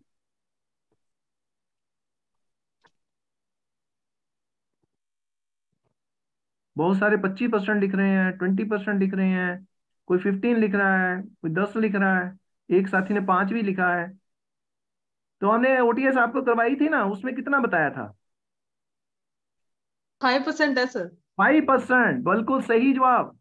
मैंने उस दिन भी बोला था कि एनपीबी को मिक्स कर रहे हो आप एनपीबी का पूछूंगा तब दस परसेंट है अगर इसका पूछेंगे स्पेशल ओटीएस का वो फाइव परसेंट है प्लीज इसको मिक्स मत करिए क्योंकि ये क्वेश्चन आपको आना है वहां पे और five percent of what amount ये बताइए five percent of what amount मैं चाहता हूँ चैट बॉक्स में बताइए of OTS amount sir five percent of OTS amount बिल्कुल सही है चलिए अगला क्वेश्चन पे पूछते हैं आपको एनपीवी क्या है NPV net present quick mortality loan sanction threshold limit कितनी है quick mortality loan sanction limit threshold limit कितनी है फिफ्टीन लैक्स नहीं नहीं ट्वेंटी फाइव लैक्स मैं मंथ्स में पूछ रहा हूँ ट्वेल्व मंथ्स मैम चैट में जवाब दीजिए ना मैम अठारह month quick mortality loan sanction threshold limit chat box में जवाब नहीं आ रहे मेरे को चैट बॉक्स में twelve month Lokesh twelve month eighteen months मेरे को भी लगता है एटीन मंथ्स है एटीन मंथ्स जो आप ठीक है कि एटीन मंथ्स है क्विक मेटेलिटी कि अगर कोई अकाउंट जो है एटीन मंथ्स के अंदर एनपीए हो जाता है तो उसको क्विक मेटेलिटी बोलते हैं ठीक है उसकी जो मेटेलिटी रेट है वो क्विक क्विक हो गया मतलब उसको बोलेंगे कि जे, जे, इसका उसका जो स्टाफ अकाउंटेबिलिटी जल्दी हो जाता है ठीक है वो है केस अच्छा इधर मेरे साथियों ने बहुत अच्छे जवाब दिए वेरी गुड बहुत अच्छे क्विक मोर्टेलिटी जो है ना सर मुझे ऐसा लगता है कि ट्वेल्व मंथ में ही होता है सर नहीं नहीं नहीं eighteen month from the loan sanction है जब लोन सेंक्शन हुआ उससे अठारह महीने ठीक है इसको चेक कर लेना एक बार इसको चेक कर लेंगे सर इसको भी कर दीजिएगा सर क्वेश्चन मेरा है जी सर इसको चेक कर मेरा क्वेश्चन है एंड नेगोशियबल इंस्ट्रूमेंट एक्ट में नोटिंग क्या होता है नोटिंग सुना होगा नेगोशियबल इंस्ट्रूमेंट एक्ट में नोटिंग करवाते हैं नोटिंग का मतलब क्या है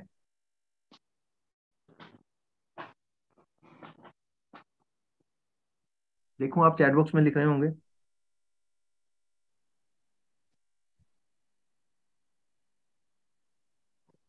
नहीं कोई जवाब नहीं आया अभी तक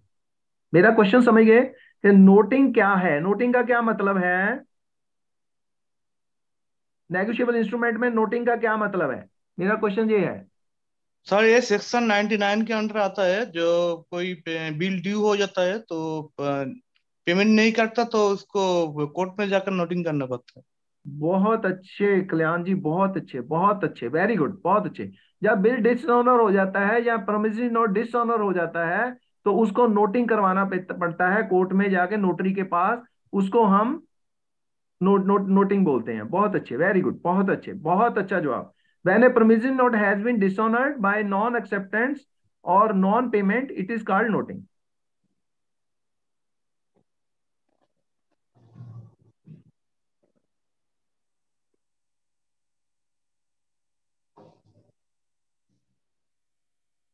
कोई बता सकता है ब्रेक इवन पॉइंट क्या होता है no profit no loss there no profit no loss to a company बिल्कुल सही है यहाँ पे किसी भी कंपनी को किसी कंपनी को कोई लॉस नहीं होता कोई प्रॉफिट नहीं होता उसको हम बोलते हैं ब्रेक इवन पॉइंट बहुत अच्छे चलिए मैं और क्वेश्चन पूछता हूँ आपसे दोस्तों सर नोटिंग को थोड़ा सा फिर से बोलिएगा नोटिंग का मतलब ये होता है जब कोई प्रमिसरी नोट या कोई बिल ऑफ एक्सचेंज हमारा डिसऑनर हो जाता है मतलब कि उसकी पेमेंट कोई नहीं करता है तो फिर हमारे को उसको नोटिंग करवाना पड़ता है नोटरी के पास कोर्ट में नोटरी बैठे रहते हैं ना वहां पे नोट हाँ करवाना पड़ता है कि भाई ये बिल डिसऑनर हो गया है तो वो एक विटनेस का काम करता है कोर्ट में जब हम कभी केस फाइल करते हैं ठीक है कौन सा सेक्शन के तहत सर नोटिंग uh, का तो यार सेक्शन आपको uh, तो मिल जाएगा N I section ninety nine sir nine हाँ चलो सेक्शन uh, और उसके बाद सर हंड्रेड होता है प्रोटेस्ट हाँ नोटिंग एंड प्रोटेस्टिंग यही सेम है ठीक है good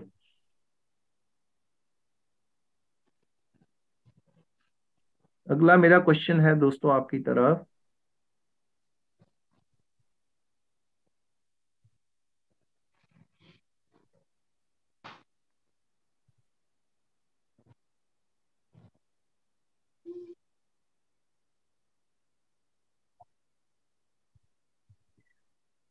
pre disbursement credit audit pre disbursement credit audit to be carried out in minimum loan of rupees pre disbursement credit audit कितनी अमाउंट से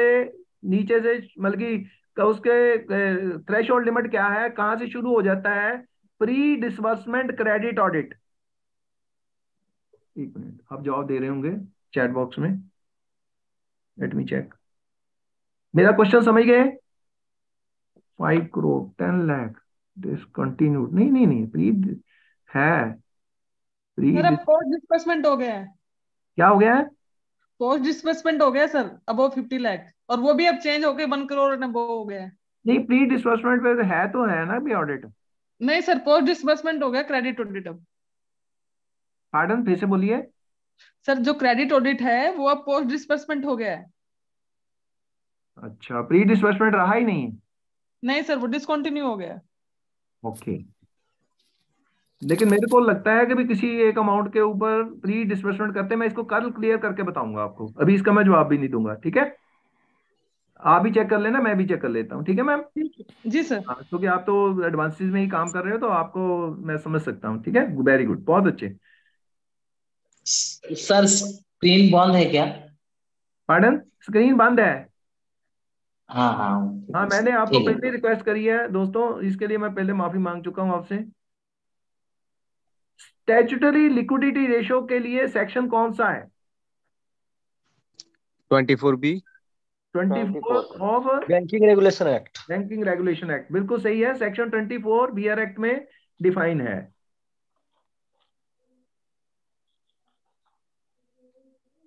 स्टॉक ऑडिट जो है वो be carried out by internal concurrent auditor in which exposure stock audit जो है वो कितनी amount से ऊपर करना है फाइव करोड़ ना वो फाइव करोड़ एंड अब बहुत अच्छे what is the mandatory leave day sir ये तो क्वेश्चन था सब बैंक के लिए के एक है सर हाँ जी सर कॉन्करेंट ऑडिट तो सभी बैंक के लिए एक है नहीं तो हमारे बैंक में सर्कुलर में तो एक करोड़ था नहीं नहीं आरआरबी के लिए एक करोड़ ही है आरआरबी के लिए एक करोड़ ही है स्पेसिफिकली हम सेंट्रल बैंक के लिए थोड़ा से क्वेश्चन लेके आए दोस्तों प्लीज बियर विद अस एक क्वेश्चन और पूछ रहा हूँ दोस्तों what is the mandatory leave days for staff working bank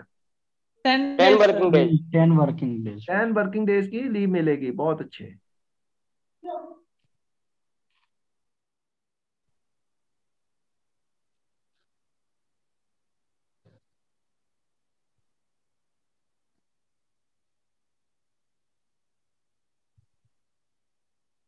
safe custody of articles comes under which act ये क्वेश्चन आया है पिछली बार safe custody of article comes under which act transfer of property act yes नहीं नहीं नहीं नहीं गलत है क्वेश्चन है safe custody of article comes under which act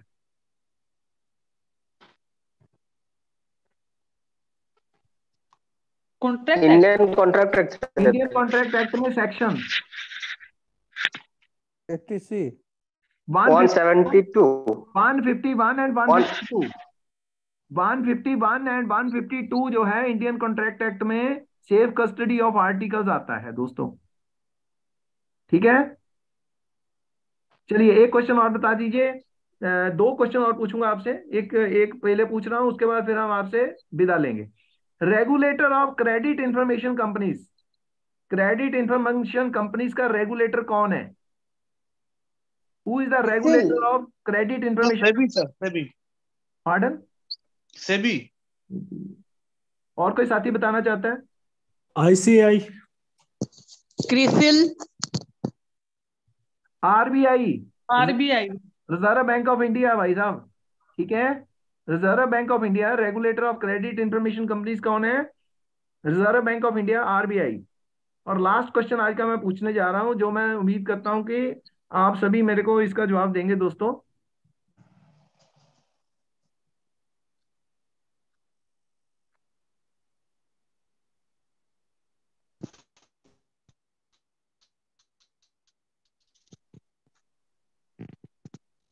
what is maximum moratorium in education loan one year what is These moratorium course period plus one year two years course duration plus one year course duration plus one year बिल्कुल सही जवाब है course duration plus one year तो dear friends आपने really में मेरे साथ cooperate किया है क्योंकि आज हमारी ये क्वेश्चंस की पीपीटी क्योंकि अगर हम क्वेश्चंस की पीपीटी तैयार करते हैं तो यहाँ पे बहुत ज्यादा समय बहुत जो है ना लगता है क्वेश्चंस आपको दिखाने में और थोड़ा ये सिस्टम भी मेरा जो है वो कर नहीं पा रहा तो कुछ क्वेश्चन मेरे तैयार थे कुछ मैंने आपके साथ डिस्कस कर लिए हैं एक सौ के करीब क्वेश्चन हमारे पास अभी और पड़ा हुआ है जो हमने आपके साथ डिस्कस करना है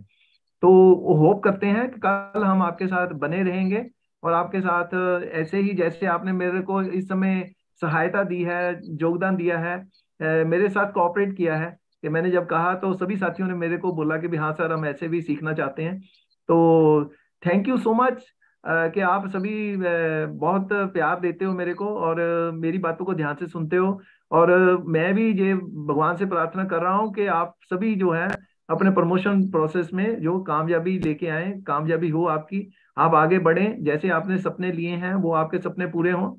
तो इन्हीं शब्दों के साथ मैं आप सभी से विदा लेता हूँ और मैं सर से पूछ लेता हूँ कि नेक्स्ट क्लास कितने बजे है जो कौन लेने वाले हैं अभी प्लीज बने रहिए साथ में इसी लिंक पर बने रहिए thank you okay sir thank you hello हाँ बोलिए जी सर मैं आ, मैं क्लास लूंगी नाइन ओ क्लॉक से मेरी क्लास थी तो मैं कंटिन्यू कर लूंगी इसी हाँ ठीक है ठीक है ma'am thank you ma'am please continue thank you sir thank you God bless you God bless okay okay bye dear friends bye sir thank you sir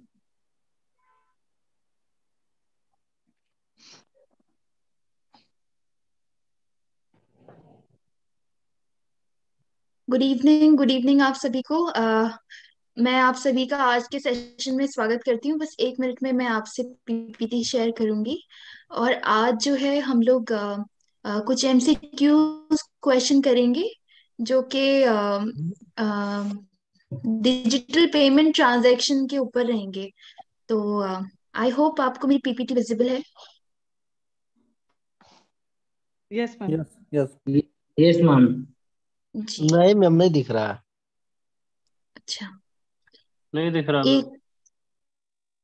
एक मिनट आपको हाँ भी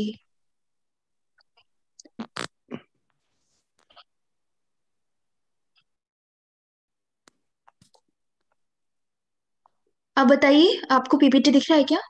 दिखाई दे रहा है जी जी जी नहीं मैम नहीं नहीं नहीं दिख रहा है आप आ, अच्छा आप, आ, कुछ लोगों को दिख रही है कुछ लोगों को नहीं दिख रही है ऐसा दिख रहा है अच्छा, मैम दिख रहा अच्छा, है दिख रहा है ठीक है ठीक है लीव करके फिर से एंट्री करें क्या मैम जी मतलब लीव करके कहीं जगह मैडम नेट का भी इशू रहता है ना इसलिए अच्छा अच्छा हम्म। हाँ अगर आपको ऐसा है अगर नहीं दिख रही है आप एक बार लीव करके ऐड होके देखिए हो सकता है विजिबल हो जाए तो तो हाँ जैसे कि हम आज बात कर रहे थे आई होप आप सभी जो हैं बहुत ही uh, शानदार होंगे हेल्थ वाइज भी और अदरवाइज uh, भी आप सबकी तैयारी तो मैंने देखी रही हूँ कुछ सेशंस में काफी अच्छी चल रही है जैसे आप लोग आंसर्स दे रहे हैं उस हिसाब से तो uh, उसी तैयारी को आगे बढ़ाते हुए आज जो हम uh, जो क्वेश्चन लाए हैं वो डिजिटल पेमेंट एंड ट्रांजेक्शन के ऊपर लाए हैं तो जो भी डिजिटल पेमेंट के प्रोडक्ट्स रहते हैं जो भी ट्रांजेक्शन के ऊपर क्वेश्चन रहते हैं आज के सेशन में आपकी तैयारी इसमें दुरुस्त करवाएंगे हम तो आज के का सेशन इसी तरीके से होगा आप स्क्रीन पे क्वेश्चन देखेंगे आप मुझे चैट में आंसर्स बताइएगा और फिर हम आंसर देखेंगे और ऐसे ही आज कुछ अच्छे क्वेश्चंस हम प्रैक्टिस करेंगे एग्जाम्स के लिए तो आई होप आप सभी तैयार हैं तो हम चालू करते हैं आज की क्लास तो चलिए आप सभी से एक रिक्वेस्ट है मेरी कि प्लीज आप अपने अपने माइक्स जो है वो म्यूट करके रखिएगा अगर कोई आपको डाउट है जो कुछ टर्म से रिलेटेड है या ऐसा कुछ है तो आप वो नोट करके रख सकते हैं आप सर से भी पूछ सकते हैं या सेशन के बाद अगर मैं आपकी मदद कर पाऊँ उसको लेकर तो मैं भी आपकी मदद करूंगी तो चलिए आज का जो हम सेशन चालू करते हैं क्वेश्चन जो ये रहा आपके स्क्रीन पर पहला क्वेश्चन ये है payment system operated in India by various authorities which one is not among them ये पूछ रहे हैं कि जो भी इंडिया में आपके जो पेमेंट सिस्टम है वेरियस अथॉरिटीज द्वारा चलाए जाते हैं इन चारों में से कौन सा पेमेंट आपका सिस्टम नहीं है ए है आरबीआई एनपीसीआई भीम या सीसीआईएल तो आप लोग फटाफट जवाब दे रहे हैं सी और डी सी जो है वो है भीम और डी है जो सीसीआईएल ठीक है बहुत सारे साथी हमारे दे रहे हैं कि डी और सी होना चाहिए एक ने कहा है कि आरबीआई हो सकता है परोमिता जी कह रही है कि डी होना चाहिए ठीक है जगबंधु जी कह रहे हैं सी सी सीसीआईएल तो ठीक है तीन ऑप्शन में मैं कंफ्यूजन देख रही हूँ कंफ्यूजन तो नहीं कह सकते ठीक है अनुराग जी कह रहे हैं कि डी ही है डी ही जवाब है इसका तो क्वेश्चन एक बार फिर से पढ़ लीजिए payment system operated in India by various authority मतलब बहुत सारी अथॉरिटीज हैं जो वो पेमेंट सिस्टम ऑपरेट करती हैं which one is not among them इन चारों में से कौन सी वो पेमेंट सिस्टम Uh, चालू करने वाली अथॉरिटी नहीं है ये क्वेश्चन है आपका इन चारों में से कौन सा जो वेरियस अथॉरिटी जो पेमेंट सिस्टम ऑपरेट करती है वो नहीं है आप अब दोबारा से अपने आंसर दे सकते हैं ठीक है आ, बहुत आ, काफी मिक्स आंसर है किसी ने कहा ए आरबीआई एक साथी कह रहे हैं भीम जो है वो नहीं है और काफी लोग कह रहे हैं कि सीसीआईएल है चलिए ठीक है आ, काफी कंफ्यूज्ड आंसर्स हैं इसको लेके चलिए देख लेते हैं इसका जवाब क्या होना चाहिए जो इसका जवाब जो है वो है भीम भीम जो है वो कोई वेरियस अथॉरिटीज में नहीं आता जो पेमेंट सिस्टम ऑपरेट करती है इंडिया में आरबीआई और बाकी के तीन जो ऑप्शन है ये पेमेंट अथॉरिटीज मतलब ये वेरियस अथॉरिटीज हैं जो पेमेंट सिस्टम चलाती हैं इंडिया में तो यहाँ पर जो आपका सही जवाब है वो है सी जो कि है Bhim Bhim is the correct answer मतलब भीम से एक नाम मात्र है बस कि एक ऐप का नाम जी जी ऐप का नाम है ये कोई अथॉरिटी नहीं है जो पेमेंट सिस्टम को ऑपरेट करती है इंडिया में बाकी तीनों जो है वो करते हैं I hope this is clear चलिए अगले क्वेश्चन की तरफ बढ़ते हैं अगला क्वेश्चन जो है वो है कि transaction limit activated on a customer request in personal I N B for I M P S fund transfer for proprietor account own fund आपसे पूछ रहे हैं कि ट्रांजेक्शन लिमिट क्या है इस केस में अगर uh, एक मिनट हाँ ट्रांजेक्शन लिमिट क्या है अगर कस्टमर रिक्वेस्ट करता है पर्सनल आईएनबी में आईएमपीएस फंड ट्रांसफर के लिए एक प्रोपरिएटर अकाउंट के अपने ओन फंड से तो पहला ऑप्शन है फिफ्टीन लाख पर ट्रांजेक्शन और पच्चीस लाख पर डे लिमिट अच्छा आप लोगों ने फटाफट आंसर देने चालू कर दिए D A Rakesh ji A कह रहे हैं जूही जी कह रही है B ten lakh per transaction twenty five lakh per day limit okay Akhilesh ji भी बी कह रहे हैं ओके आप प्लीज अपना माइक जो है वो म्यूट कर लीजिए जिसका भी माइक जो है ऑन है प्लीज ताकि आप लोगों को मेरी आवाज क्लियरली आ सके ठीक है मिक्स्ड आंसर है डी और बी को लेके जगबंधु जी ने बी कहा है संतोष कुमार सिंह जी डी कह रहे हैं डी जो है वो है five lakh per transaction twenty five lakh per day limit तो लगभग तीन ऑप्शन में twenty five lakh per day limit का ऑप्शन है बाकी पर डे का जो ट्रांजेक्ट जो फर्स्ट जो पार्ट है वो चेंज हो रहा है उमेद सिंह जी कह रहे हैं बी संतोष कुमार जी ने डी कहा जैसे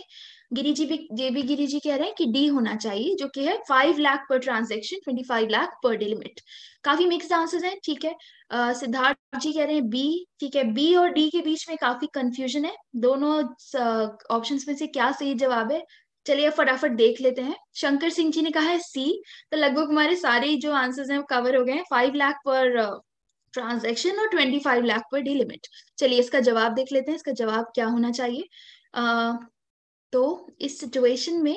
आपका सही जवाब होगा डी जो है फाइव लाख पर ट्रांजेक्शन और twenty five lakh per day limit अगर ये सिचुएशन है जहाँ transaction limit activated on customer request in personal INB for IMPS fund transfer तो पांच लाख पर ट्रांजेक्शन आप कर सकते हैं और पच्चीस लाख पर डे लिमिट होती है इसकी चलिए इसी नोट पे नेक्स्ट क्वेश्चन पे बढ़ते हैं काफी लोग सही जवाब दे रहे हैं काफी लोगों को कंफ्यूजन भी है क्योंकि लगभग लगभग सेम पास के आंसर्स हैं चलिए क्वेश्चन नंबर थ्री जो है वो फुल फॉर्म पूछ रहा है पूछ रहा है कि एन यू यू पी का फुल फॉर्म क्या है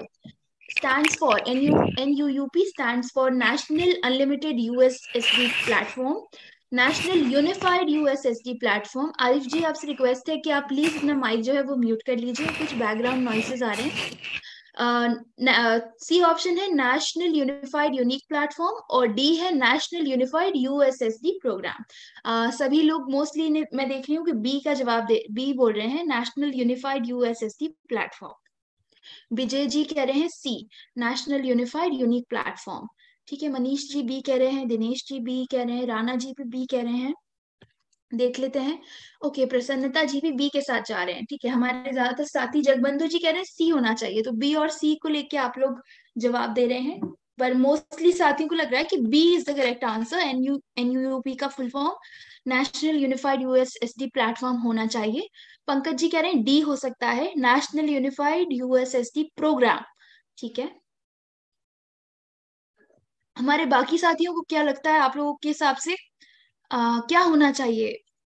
जवाब आर के शाह जी भी डी कह रहे हैं नेशनल यूनिफाइड यूएसएसडी प्लेटफॉर्म इसमें भी लगभग एक एक शब्द का अंतर है काफी कंफ्यूजन क्रिएट कर सकता है ये क्वेश्चन भी अगर नहीं पता सही जवाब तो नेशनल यूनिफाइड यूएसएसडी प्लेटफॉर्म के साथ जा रहे हैं अरविंद जी और सिद्धार्थ जी कैर सिंह जी कह रहे हैं सी होना चाहिए ठीक है ओके चलिए अब देख लेते हैं इसका जवाब जो है वो क्या होना चाहिए बी होना चाहिए या डी या सी देख लेते हैं इसका जो सही जवाब है वो है बी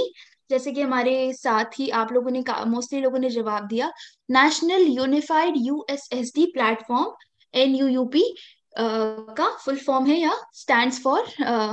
चलिए अनुराग जी ने आप सभी के लिए तालियां बजा दी चलिए सही जवाब के लिए सबके सबके लिए तालियां चलिए नेक्स्ट क्वेश्चन की तरफ बढ़ते हैं नेक्स्ट क्वेश्चन जो है वो कह रहा है which one is not among the possible threat under cyber security इसका जवाब तो सभी लोगों को देना चाहिए इसके बारे में हमने कंप्यूटर की क्लास में फर्स्ट या सेकेंड क्लास में भी डिस्कशन किया था इनमें से इन चारों में से साइबर सिक्योरिटी थ्रेट क्या नहीं है सॉरी क्या है which one is which one is among the possible threat होना चाहिए इनमें से कौन सा पॉसिबल थ्रेट है और तीन जो है वो नहीं है ये क्वेश्चन में पूछ रहे हैं कि कौन सा थ्रेट है और कौन से नहीं है चलिए आप सभी जो है फटाफट जवाब दे रहे हैं सी के तरफ अः के जो सी है वो सही जवाब होना चाहिए तो देरी ना करते हुए इसका आंसर देख लेते हैं अच्छा ठीक है बी के लिए भी आंसर आ रहा है अनुराग जी कह रहे हैं बी जूस मिक्सिंग क्वेश्चन जो है उसमें पूछ रहे हैं is among the possible threat under cyber security तो यहाँ पर इन तीनों चार में से थ्रेट है वो बताना है तो चलिए देख लेते हैं इसका जवाब क्या है वैसे तो आप सभी ने मोस्टली लोगों ने सही जवाब दिया है इसका जो आंसर जो है वो है बी जूस मिक्सिंग अच्छा तो यहाँ पर जो तीन है विशिंग फिशिंग समझ में गलत हो गया हाँ क्वेश्चन थोड़ा सा थोड़ा सा ऐसा है क्वेश्चन कंफ्यूजन क्वेश्चन में नॉट वाले क्वेश्चन में सबसे इम्पोर्टेंट बात होती है नॉट ढूंढना अगर नॉट जी जी जी तो फिर वो पक्के में अपना सही होना है अनुराग जी ने जैसे कि बताया है आप नॉट ढूंढ लेंगे तो आंसर आपको मिल जाएगा तो इन सब में से जूस मिक्सिंग जो है वो एक साइबर सिक्योरिटी थ्रेट नहीं है विशिंग फिशिंग और सिम स्वैप ये जो है ये साइबर सिक्योरिटी के थ्रेट्स होते हैं इससे डेंजर होता है हमें तो चलिए नेक्स्ट क्वेश्चन की तरफ बढ़ते हैं इसी नोट पे आप सभी ने लगभग सही जवाब दिया है चलिए देख लेते हैं choose the incorrect option among all option pertaining to payment system payment system के आ, ये भी नॉट वाला क्वेश्चन है इनकरेक्ट ऑप्शन ढूंढना है आपको इनमें से इनकरेक्ट ऑप्शन क्या है पहला है 16 digit alpha numeric numbers generated after success successful transaction दूसरा कह रहा है 11 digit alpha numeric code that uniquely identify a branch uh, bank branch participating in the NEFT system. 22 digit alphanumeric number to uniquely identify a transaction in RTGS system and 21 digit number legal entity identifier system to identify parties using RTGS in NEFT with effect 1st April 2021 Neeraj ji Prasannata ji जो है वो D जवाब दे रहे हैं बोल रहे हैं D is the correct answer Dinesh Shinde ji भी डी के साथ जा रहे हैं जो कह रहे हैं कि D is the wrong answer RTGS में वन डिजिट वाला जो ऑप्शन है वो जो है वो गलत है ऐसा आप सभी कह रहे हैं सॉरी ये मोहिनी जी भी कह रही है D D is the correct answer सभी लोग डी के साथ जा रहे हैं तो फिर देर किस बात की फटाफट इसका जवाब देख लेते हैं D is the correct answer आप सभी ने सही जवाब दिया है very good very well attempted सभी का जो जो जवाब है वो सही है twenty one digit number legal entity identifier system to identify parties using RTGS NEFT ये जो है वो इनकरेक्ट ऑप्शन है अगर पेमेंट सिस्टम की बात की जाए तो बाकी तीनों जो स्टेटमेंट थे वो सही थे चलिए नेक्स्ट क्वेश्चन की तरफ बढ़ते हैं what is correct about L E I L E I के रिगार्डिंग इसमें से कौन सा स्टेटमेंट जो है वो करेक्ट नहीं है नॉट करेक्ट बोल रहे हैं तो आपको बताना है इनमें से कौन सा जो स्टेटमेंट है वो एल e के रिगार्डिंग करेक्ट नहीं है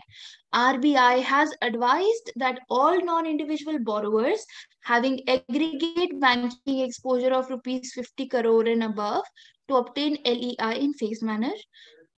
Arvind ji ने जवाब दे दिया है सी के साथ जा रहे हैं वो लीगल एंटिटी आइडेंटिफायर एलई आई का फुल फॉर्म जो है वो है legal entity identifier a twenty digit number system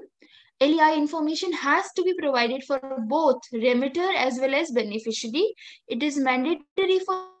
all non-individual customer other than government or their department ministries initiating a transaction of rupees 50 crore and above through RTGS and or NEFT. ठीक है तो आप में से बहुत सारे साथियों ने बोला सी विनय जी कह रहे हैं कि डी होना चाहिए पूजा जी कह रही है ए है जो वो गलत है ठीक है तो अनुराग सिंह जी कह रहे हैं कि सी ही होना चाहिए क्योंकि पार्टी को आ, ऐसा कुछ उन्होंने एक्सप्लेनेशन दिया है इस क्वेश्चन के रिगार्डिंग लोकेश जी कह रहे हैं बी होना चाहिए लीगल एंटिटी आइडेंटिफायर जो है वो एक twenty one digit number system नहीं है ऐसा कह रहे हैं वो बाकी मोस्टली आप में से एटी फाइव लोग एटी फाइव परसेंट लोग कह रहे हैं कि um, जो है C should be the right answer C जो स्टेटमेंट है वो एल e के बारे में सही नहीं है भरत जी कह रहे हैं डी होना चाहिए ठीक है नॉन इंडिविजुअल कस्टमर जो कि गवर्नमेंट नहीं है गवर्नमेंट के डिपार्टमेंट नहीं है मिनिस्ट्रीज में से नहीं है अगर वो एक पचास करोड़ या उससे अब का ट्रांजेक्शन आरटीजीएस या एनएफटी की तरफ से करते हैं तो एल e के बारे में ये स्टेटमेंट बोल रहे हैं गलत है मुकेश कुमार जी भी सी कह रहे हैं राणा जी भी डी कह रहे हैं मुकेश कुमार जी कह रहे हैं कि एल इंफॉर्मेशन e जो है दोनों को प्रोवाइड करनी पड़ती है जो रेमिटर है उसको भी और बेनिफिशियरी उसको भी चलिए देख लेते हैं इसका सही जवाब क्या है एल e के बारे में कौन सा स्टेटमेंट जो है वो सही नहीं है जो ए है वो आ, सही नहीं है लीगल एंटिटी आइडेंटिफायर के बारे में RBI has advise that all non individual borrower having aggregate banking exposure of rupees fifty crore and above to obtain L in phase manner ये स्टेटमेंट जो है वो गलत है बाकी जो हमारे तीनों स्टेटमेंट थे वो एल e के लिए के रिगार्डिंग सही थे तो A is the correct answer आप सभी ने बहुत अच्छा अटेम्प्ट किया तो अब आप याद रख सकते हैं ये स्टेटमेंट गलत है इसके रिगार्डिंग बाकी तीनों स्टेटमेंट जो थे वो सही थे चलिए let's move on to next question NEFT transaction के बारे में है ये NEFT transaction limit in internet banking for personal I including proprietor account are इसमें आपको इनकरेक्ट ऑप्शन चूज करना है इनमें से जो तीन ऑप्शन है वो करेक्ट है और एक जो है गलत है आपको बताना है कौन सा है incorrect option NEFT transaction limit के बारे में two lakh per transaction and ten lakh per day limit default NEFT e transaction में बोल रहे हैं कि दो लाख पर ट्रांजेक्शन और दस लाख पर डे का लिमिट डिफॉल्ट रहता है या फिर ten lakh per day limit रहती है डिफॉल्ट में और fifteen lakh per day limit activated by branch on customer request request दस लाख तो पर डे लिमिट रहती है डिफॉल्ट से पर पंद्रह लाख पर डे ब्रांच जो है कस्टमर की रिक्वेस्ट पर एक्टिवेट कर सकता है सी ऑप्शन कह रहा है कि ten lakh per transaction limit default रहती है पंद्रह लाख पर डे एक्टिवेट हो सकती है ब्रांच के द्वारा कस्टमर अगर रिक्वेस्ट करता है तो तो यहाँ पर ठीक है और ऑप्शन ए और बी कह रहे हैं कि करेक्ट है आपको बताना है कि ठीक है मुकेश जी सभी लोग डी के साथ जा रहे हैं both option A and B are correct ऐसा कह रहे हैं ठीक है राकेश राणा जी आर के शाह जी भी ये कह रहे हैं कि डी होना चाहिए एफ टी ट्रांजेक्शन के लिमिट्स के बारे में कौन सा स्टेटमेंट कह रहे हैं कि इनकरेक्ट है ये बताना है ठीक है हाँ ऑप्शन जो है कह रहा है ए और बी करेक्ट है चलिए इसका आंसर देख लेते हैं इसका आंसर जो है वो है सी सी जो सी ऑप्शन जो है वो इनकरेक्ट है स्टेटमेंट के बारे में देखिए ए और बी करेक्ट यहाँ पर क्वेश्चन क्या है इनकरेक्ट पूछ रहे हैं कि आपको इस ट्रांजेक्शन से इससे रिलेटेड कौन सा जो है ऑप्शन वो गलत है तो सी गलत है ए और बी करेक्ट है तो C should be the right answer ten lakh per transaction limit default नहीं होती ना fifteen lakh per limit activate हो पाती है ब्रांच के द्वारा तो सेम तो है नहीं बी में जो है ना बी में लिखा है पर डे लिमिट यहाँ पे लिखा है पर ट्रांजेक्शन लिमिट तो बी में per day ten lakh per day limit लिख रहे हैं डिफॉल्ट और सी में लिख रहे हैं ten lakh per transaction limit default तो उसमें थोड़ा सा शब्दों का खेल कराए ताकि कंफ्यूज कर सके अगर हम जल्दी में हैं तो थोड़ा कंफ्यूज हो जाए तो यहाँ पर सी हमारा जो है सही जवाब है चलिए इसी नोट पर अगले क्वेश्चन की तरफ बढ़ते हैं what is the correct option about IMPS ये जो आपको तीन चार स्टेटमेंट्स दिए गए हैं क्वेश्चन में इसमें से कौन सा स्टेटमेंट जो है करेक्ट है आईएमपीएस ट्रांसफर्स के बारे में आपको बताना है पहला जो है वो है S stand for immediate payment service दूसरा है is services available on mobile internet branch USSD star double nine hash और थर्ड है round the clock on real time basis availability रहती है ट्वेंटी फोर सेवन और थ्री सिक्सटी फाइव डेज और fourth है fund transfer only by using mobile number and M M I D ठीक है राहुल कुमार जी कह रहे हैं all all are correct Pooja Singh ji कह रहे हैं वन टू थ्री करेक्ट है और फोर्थ गलत है आर के शाह जी भी यही कह रहे हैं कि फोर्थ जो है वो गलत है ठीक है अखिलेश कुमार जी कह रहे हैं only one and two are correct बाकी सारे बाकी दो गलत हैं कविता जी डी के साथ जा रही हैं कि चारों स्टेटमेंट सही हैं आईएमपीएस के बारे में वहीं पर ठीक है सी और डी में आंसर आ रहा है बहुत सारे लोग कह रहे हैं कि सी सही है और कुछ बहुत उस आधे लोग कह रहे हैं कि डी सही है राजीव जी कह रहे हैं कि सी सही जवाब है फोर्थ जो है वो गलत स्टेटमेंट है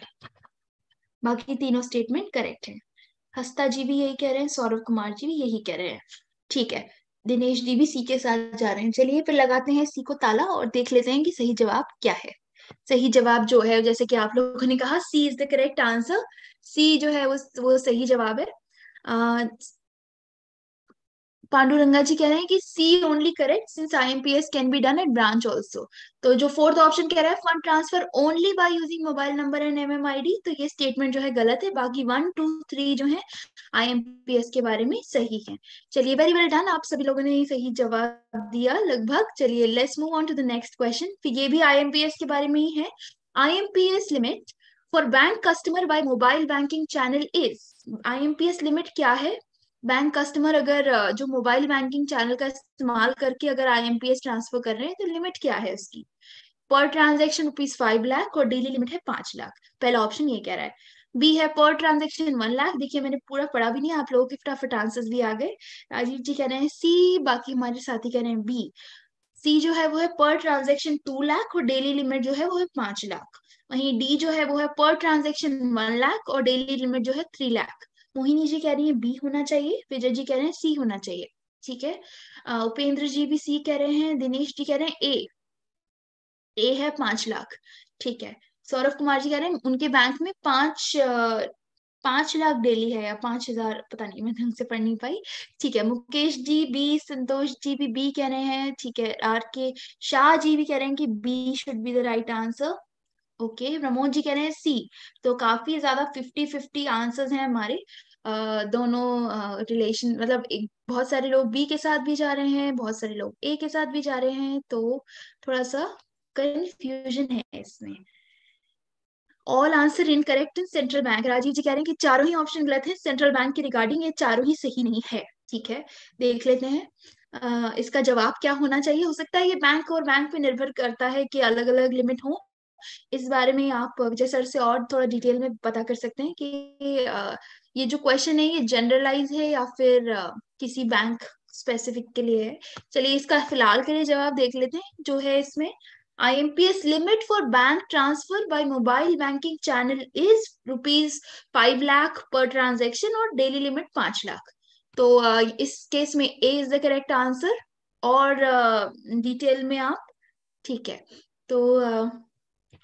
अनुराग जी कह रहे हैं पेपर में आई थी कि पांच लाख लाख तक ट्रांसफर कर सकते हैं आईएमपीएस की तो फिलहाल इस क्वेश्चन में जो है अपना जो जवाब है वो है आ,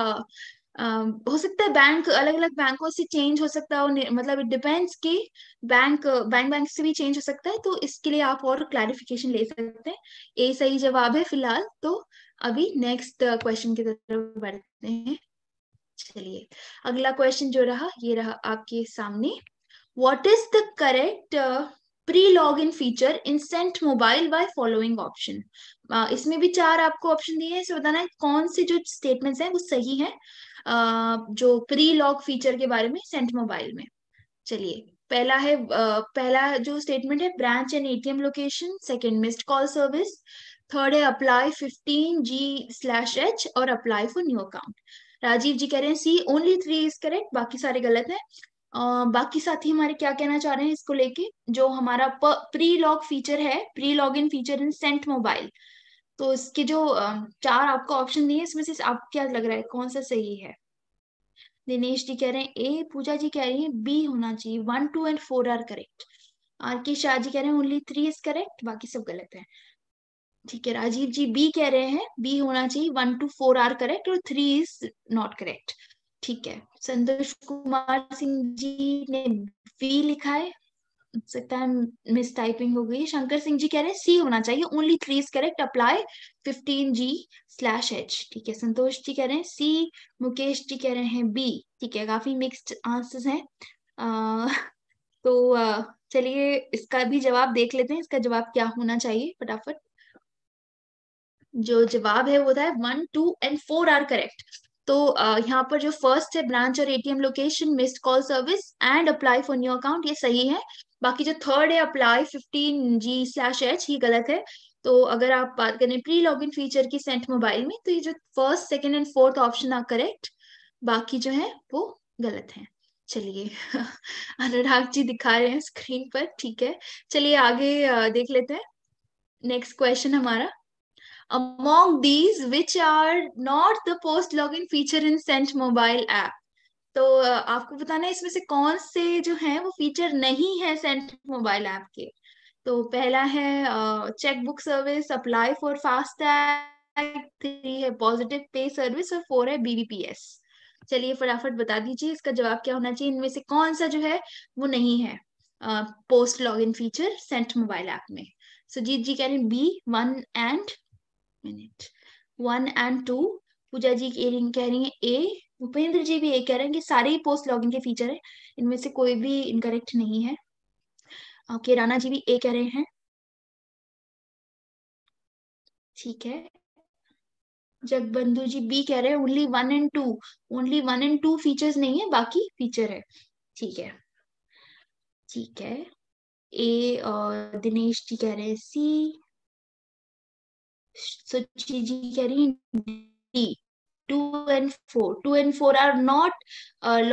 पोस्ट लॉग इन फीचर में नहीं है सुजीत जी ने फिर से कहा है विजय सिंह जी कह रहे हैं ए चलिए ठीक है बहुत सारे लोग कह रहे हैं कि सारे पोस्ट लॉग इन फीचर तो है इनमें से कोई भी ऐसा नहीं है जो नहीं है चलिए ठीक है चलिए इसका जवाब देख लेते हैं कंफ्यूजन अपनी दूर करते हैं देख लेते हैं इसका सही जवाब क्या है इसका सही जवाब है two and four to apply for FASTag और BBPS post log login feature नहीं है सेंट मोबाइल ऐप में बाकी जो फर्स्ट और थर्ड है वो फीचर है post mobile sorry post log in feature है सेंट मोबाइल ऐप के चलिए very well done very well attempted तो नेक्स्ट क्वेश्चन की तरफ बढ़ते हैं नेक्स्ट क्वेश्चन ये रहा nomination donation MMID generation standing instruction are the features of आपको बताना है ये सारे फीचर्स किसके हैं Cent UPI Cent mobile second option जो है वो है Cent mobile pre log in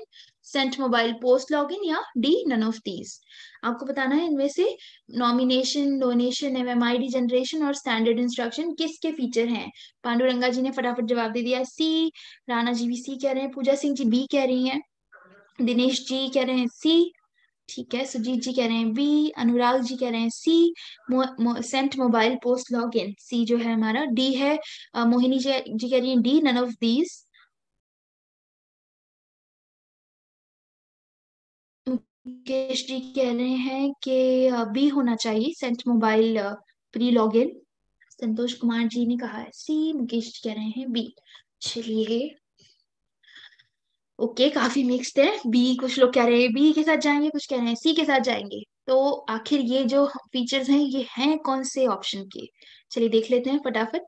सी है या बी है C is the correct answer Cent mobile post login में nomination donation M M I D generation stand standing instruction आपको मिलेंगे ये सब फीचर्स जो है वो सेंट मोबाइल पोस्ट लॉगिन के हैं तो C is the correct answer चलिए अगले क्वेश्चन की तरफ करते हैं आई होप आप लोगों को banking what is the maximum number of transaction can be done mobile banking से आप कितने मैक्सिमम नंबर की ट्रांजेक्शन कर सकते हैं आपको बताना है कि इन चारों में से कितने मैक्सिमम ट्रांजेक्शन अगर मोबाइल बैंकिंग से कोई कर रहा है तो कर सकता है no limit on daily number of transaction कोई लिमिट ही नहीं है नो लिमिट सेकंड ऑप्शन कह रहा है no limit on total monthly transaction amount monthly transaction amount के लिए कोई टोटल लिमिट नहीं है both option A and B are correct और डी कह रहा है none of them are correct इनमें से कोई भी नहीं तो फटाफट जवाब आप लोग दे रहे हैं C both A and B option are correct ठीक है सभी लोग सी के साथ जा रहे हैं अखिलेश जी भी सी कह रहे हैं भूपेंद्र जी भी सी कह रहे हैं बाकी साथियों को क्या लगता है कौन सा जो है ऑप्शन वो सही होना चाहिए विनय गुप्ता जी भी सी कह रहे हैं both option A and B are correct चलिए ठीक है ओके तो फिर जैसे जब जैसे ही सब लोग सी के साथ जा रहे हैं तो फटाफट देरी नहीं करते आंसर चेक कर लेते हैं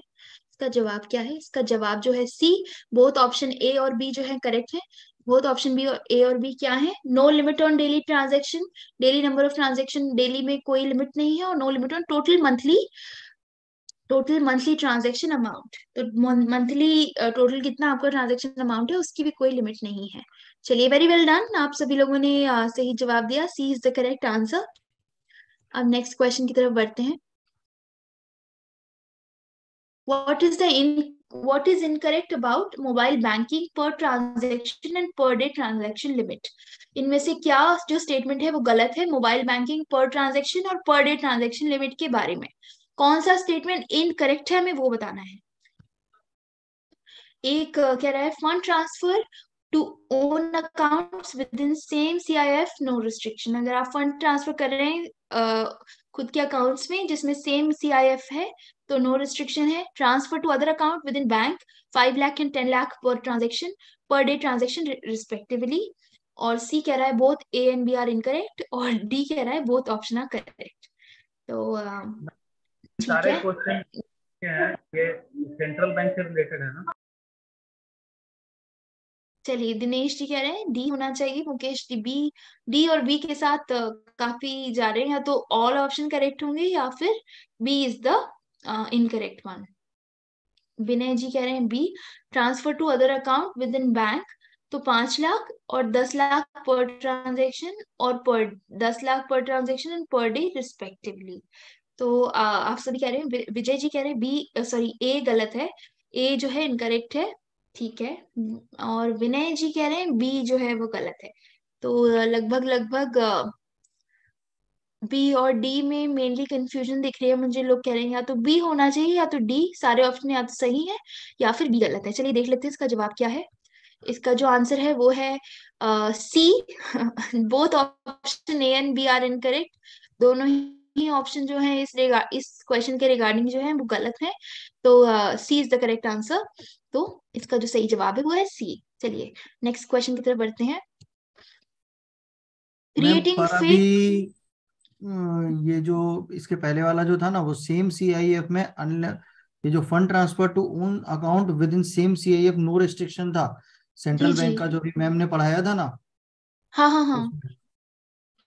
मतलब चलिए मैं इसको फ्लैग कर देती हूँ ये फोर्टीन नंबर का क्वेश्चन मैं एक बार सर से और दिखवा दूंगी हाँ, कि अगर इसमें जो ऑप्शन जो है सभी उसमें मतलब उसमें जो रिटेल बैंकिंग थी रिटेल बैंकिंग में भी और कॉर्पोरेट बैंकिंग में भी सेम सीआईएफ में अगर वो कर रहा है तो वो अनलिमिटेड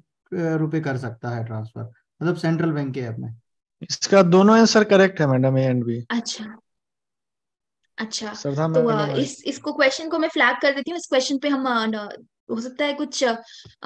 दिक्कत आ गई हो या इस पे मैं आपको एक्सप्लेनेशन दिलवा दूंगी या इसको चेंज करवा देंगी तो चलिए नेक्स्ट क्वेश्चन पे बढ़ते हैं इस क्वेश्चन को अभी के लिए रहने देते हैं हाँ तो creating fake emails or sms that appears to come from someone you trust is defined as अगर कोई आ, कोई फेक ईमेल है या एसएमएस है जो आपको लग रहा है कि आप जिसको ट्रस्ट करते भरोसा करते हैं उसके पास से आ रहे हैं तो इस चीज को आप क्या कहेंगे ए जो है विशिंग स्किमिंग स्मेरिंग या फिशिंग ये चारों ही साइबर सिक्योरिटी के थ्रेट दिए हुए हैं आपको बताना इस कंडीशन में कौन सा थ्रेट रहेगा राजीव जी ए कह रहे हैं विशिंग बाकी अः सेवा शंकर जी कह रहे हैं डी फिशिंग ठीक है दिनेश जी कह रहे हैं अखिलेश जी ए कह रहे हैं ए और डी के बीच में आंसर्स आ रहे हैं आ, कुछ लोग कह रहे हैं ए होना चाहिए विशिंग कुछ लोग कह रहे हैं डी होना चाहिए फिशिंग स्किमिंग स्किमिंग कोई में से कोई uh, कह रहा है स्किमिंग भी हो सकता है ठीक है फिशिंग हो चाहिए यार जी ए डाल स्किमिंग हो ସ୍କିମିଂ ହେଉଛି ସ୍କିମିଂ ତ ଏଟିଏମ୍ अरे फिशिंग हो होची मेल आप चैट में लिख सकते हैं अगर आंसर तो बहुत अच्छा रहेगा क्योंकि ठीक है हमें आ, मुकेश जी कह रहे हैं बी होना चाहिए चलिए इसका आंसर देख लेते हैं इसका जवाब क्या होना चाहिए आ, अगर आपको लग रहा है आपको ईमेल्स फेक ईमेल और एसएमएस आ रहे हैं जो अपियर हो रहा है कि कोई ट्रस्ट वर्दी भेज रहा है तो इस सिचुएशन को कहेंगे फिशिंग फिशिंग के केस में आपको फेक ईमेल्स और एसएमएस आते हैं ऐसा लगता है कि कोई ट्रस्टेड वेबसाइट से या किसी ट्रस्टफुल इंसान के से आ रहे हैं बट ये केस जो है वो है फिशिंग का D is the correct answer चलिए नेक्स्ट क्वेश्चन की तरफ बढ़ते हैं without adding beneficiary what is the limit for quick pay transaction 15 15 का आंसर क्या था मैं नहीं देख पाए बोल अच्छा उसका आंसर था फिशिंग डी ओके मैम अगर फिशिंग हाँ फिशिंग में क्या होता है कोई भी फेक ईमेल और एसएमएस ऐसा लगेगा आपको जिस जिसे आप जानते हैं कोई साइट जिस पे आप ट्रस्ट करते हैं उसके थ्रू आ रहा है पर ऐसा नहीं होता वो फेक होते हैं तो ये सिचुएशन जो है फिशिंग की है तो D is the correct answer चलिए अगला क्वेश्चन क्या है without adding beneficiary what is the limit for quick pay per transaction and per day limit in mobile banking mobile banking में बात करें अगर बेनिफिशियरी नहीं ऐड करें तो क्या लिमिट है क्विक पे पर ट्रांजेक्शन और पर डे लिमिट क्या है वो आपको बताना है ऑप्शंस आपके सामने है फटाफट आप चैट में बता सकते हैं क्या फाइव थाउजेंड पर ट्रांजेक्शन और one lakh per day limit है या five thousand per transaction and one lakh per day limit है okay fifty thousand five thousand sorry ठीक है आप लोग फटाफट आंसर्स भी देने लगे हैं सौरभ जी कह रहे हैं बी मुकेश जी कह रहे हैं ए ठीक है uh, राजीव जी भी ए कह रहे हैं रुपीज सी ऑप्शन जो है वो कह रहा है कि फिफ्टी थाउजेंड पर ट्रांजेक्शन और two lakh rupees per day R K Shah ji कह रहे हैं कि उनके बैंक में जो है दस हजार है तो ठीक है ये भी शायद अगर डिफरेंट डिफरेंट बैंकिंग से रेफर करता होगा बट बाकी अगर अगर नॉर्मल बाकी बैंकों में जो है वो क्या होना क्या है अगर आपका बेनिफिशियरी ऐड नहीं है तो अनुज कुमार जी आपको भी गुड इवनिंग कहर सिंह जी कह रहे हैं कि डी होना चाहिए rupees one lakh per transaction और rupees one lakh per day ठीक है बाकी जो साथी उन्हें क्या लग रहा है पीएनबी के लिए कह रहे हैं जगत बंधु जी सी होना चाहिए fifty thousand per transaction and rupees two lakh per day mobile banking की लिमिट के बारे में क्वेश्चन है अगर बेनिफिशियरी नहीं है तो लिमिट क्या होगी क्विक पे पर ट्रांजेक्शन और पर डे लिमिट की चलिए फटाफट अब इसका जवाब देख लेते हैं सुजीत जी कह रहे हैं बी होना चाहिए five thousand per transaction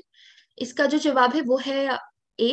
fifty thousand per transaction और वन लाख पर डे अगर आपने बेनिफिशियरी नहीं ऐड किया है तो लिमिट uh, होगी quick pay per transaction fifty thousand और पर डे की limit one lakh per day चलिए अब इसी नोट पे नेक्स्ट क्वेश्चन की तरफ बढ़ते हैं जी ये सब जो सारे ट्रांजेक्शन है वो central bank as per circular है ना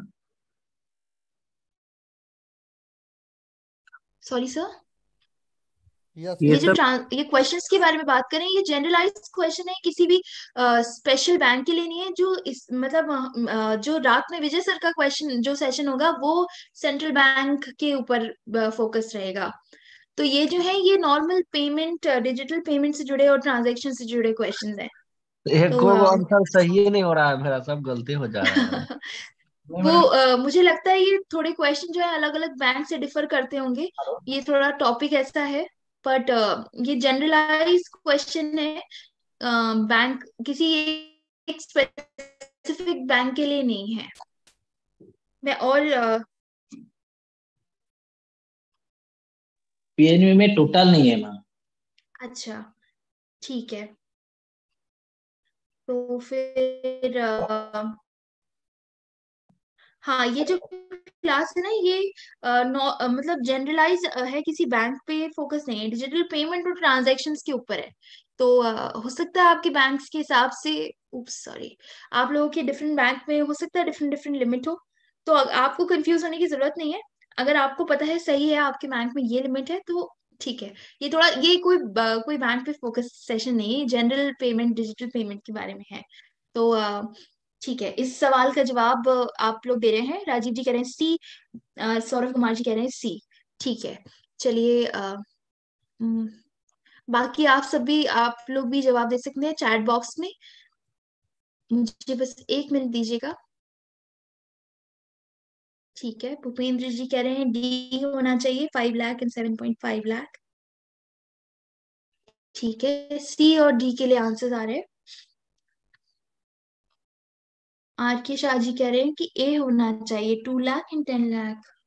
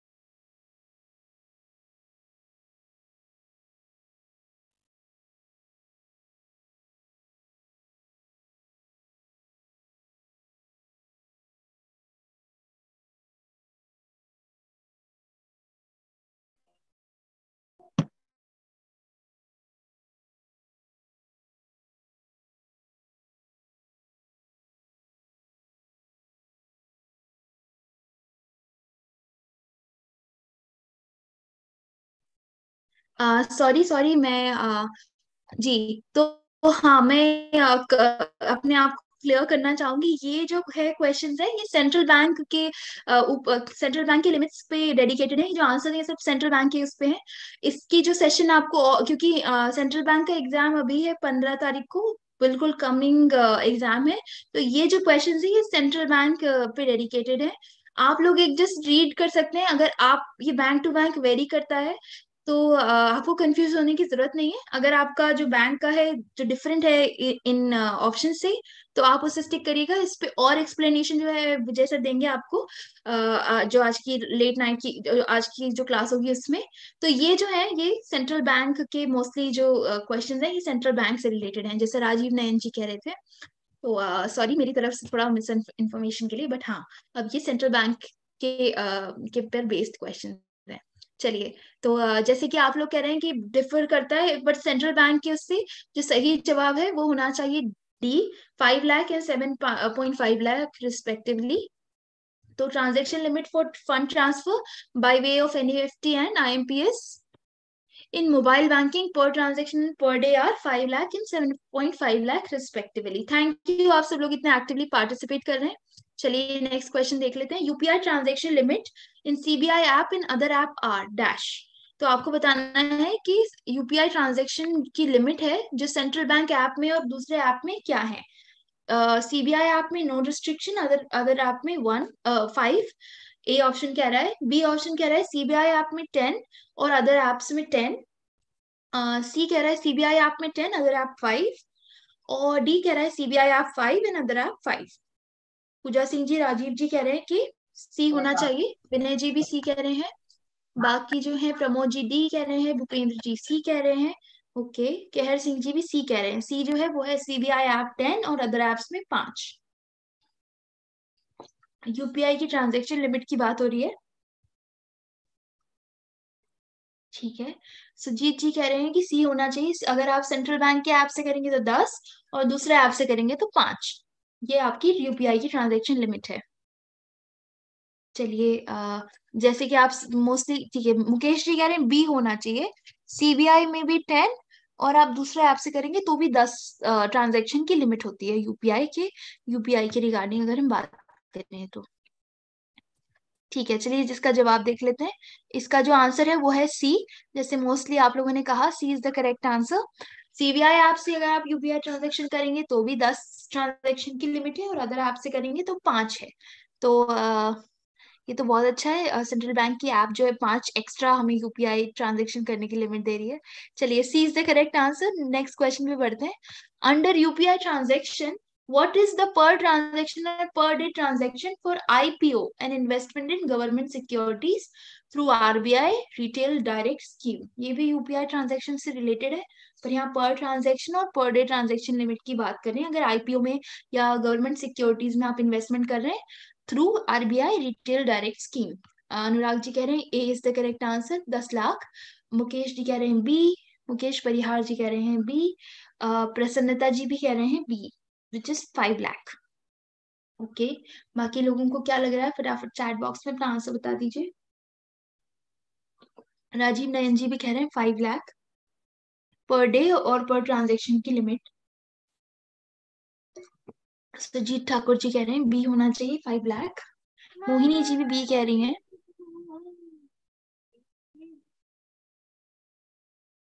ठीक है आप लोग प्लीज स्क्रीन पर किसी भी तरीके का बटन या कुछ भी पेंसिल जैसा आइकन मत क्लिक कीजिए क्योंकि वो स्क्रीन पे दिखता है एंड फिर उससे हिंड्रेंस अननेसेसरी का डिस्टरबेंस क्रिएट होता है तो प्लीज आप जिसने भी ये किया है प्लीज आप इसे रिमूव कर दीजिए वरना मुझे वापस से स्क्रीन शेयर करनी पड़ेगी बाकी लोग इसका जवाब देना चाहते हैं तो फटाफट चैट में बता दीजिए चलिए नहीं तो हम हम इसका जवाब देखते हैं चलिए इसका जवाब जो है वो है B five lakh five lakh जो है वो है पर ट्रांजेक्शन और पर डे की लिमिट इस केस में तो चलिए इसी नोट पे नेक्स्ट क्वेश्चन की तरफ बढ़ते हैं ये भी साइबर सिक्योरिटी थ्रेट के बारे में है under cyber security threat attempting to steal information और a person identity a often try to trick you into giving giving out sensitive information rather than breaking into your computer is properly known as अगर एक cyber security threat की बात हो रही है जहां पर जो हैकर है अगर वो आपका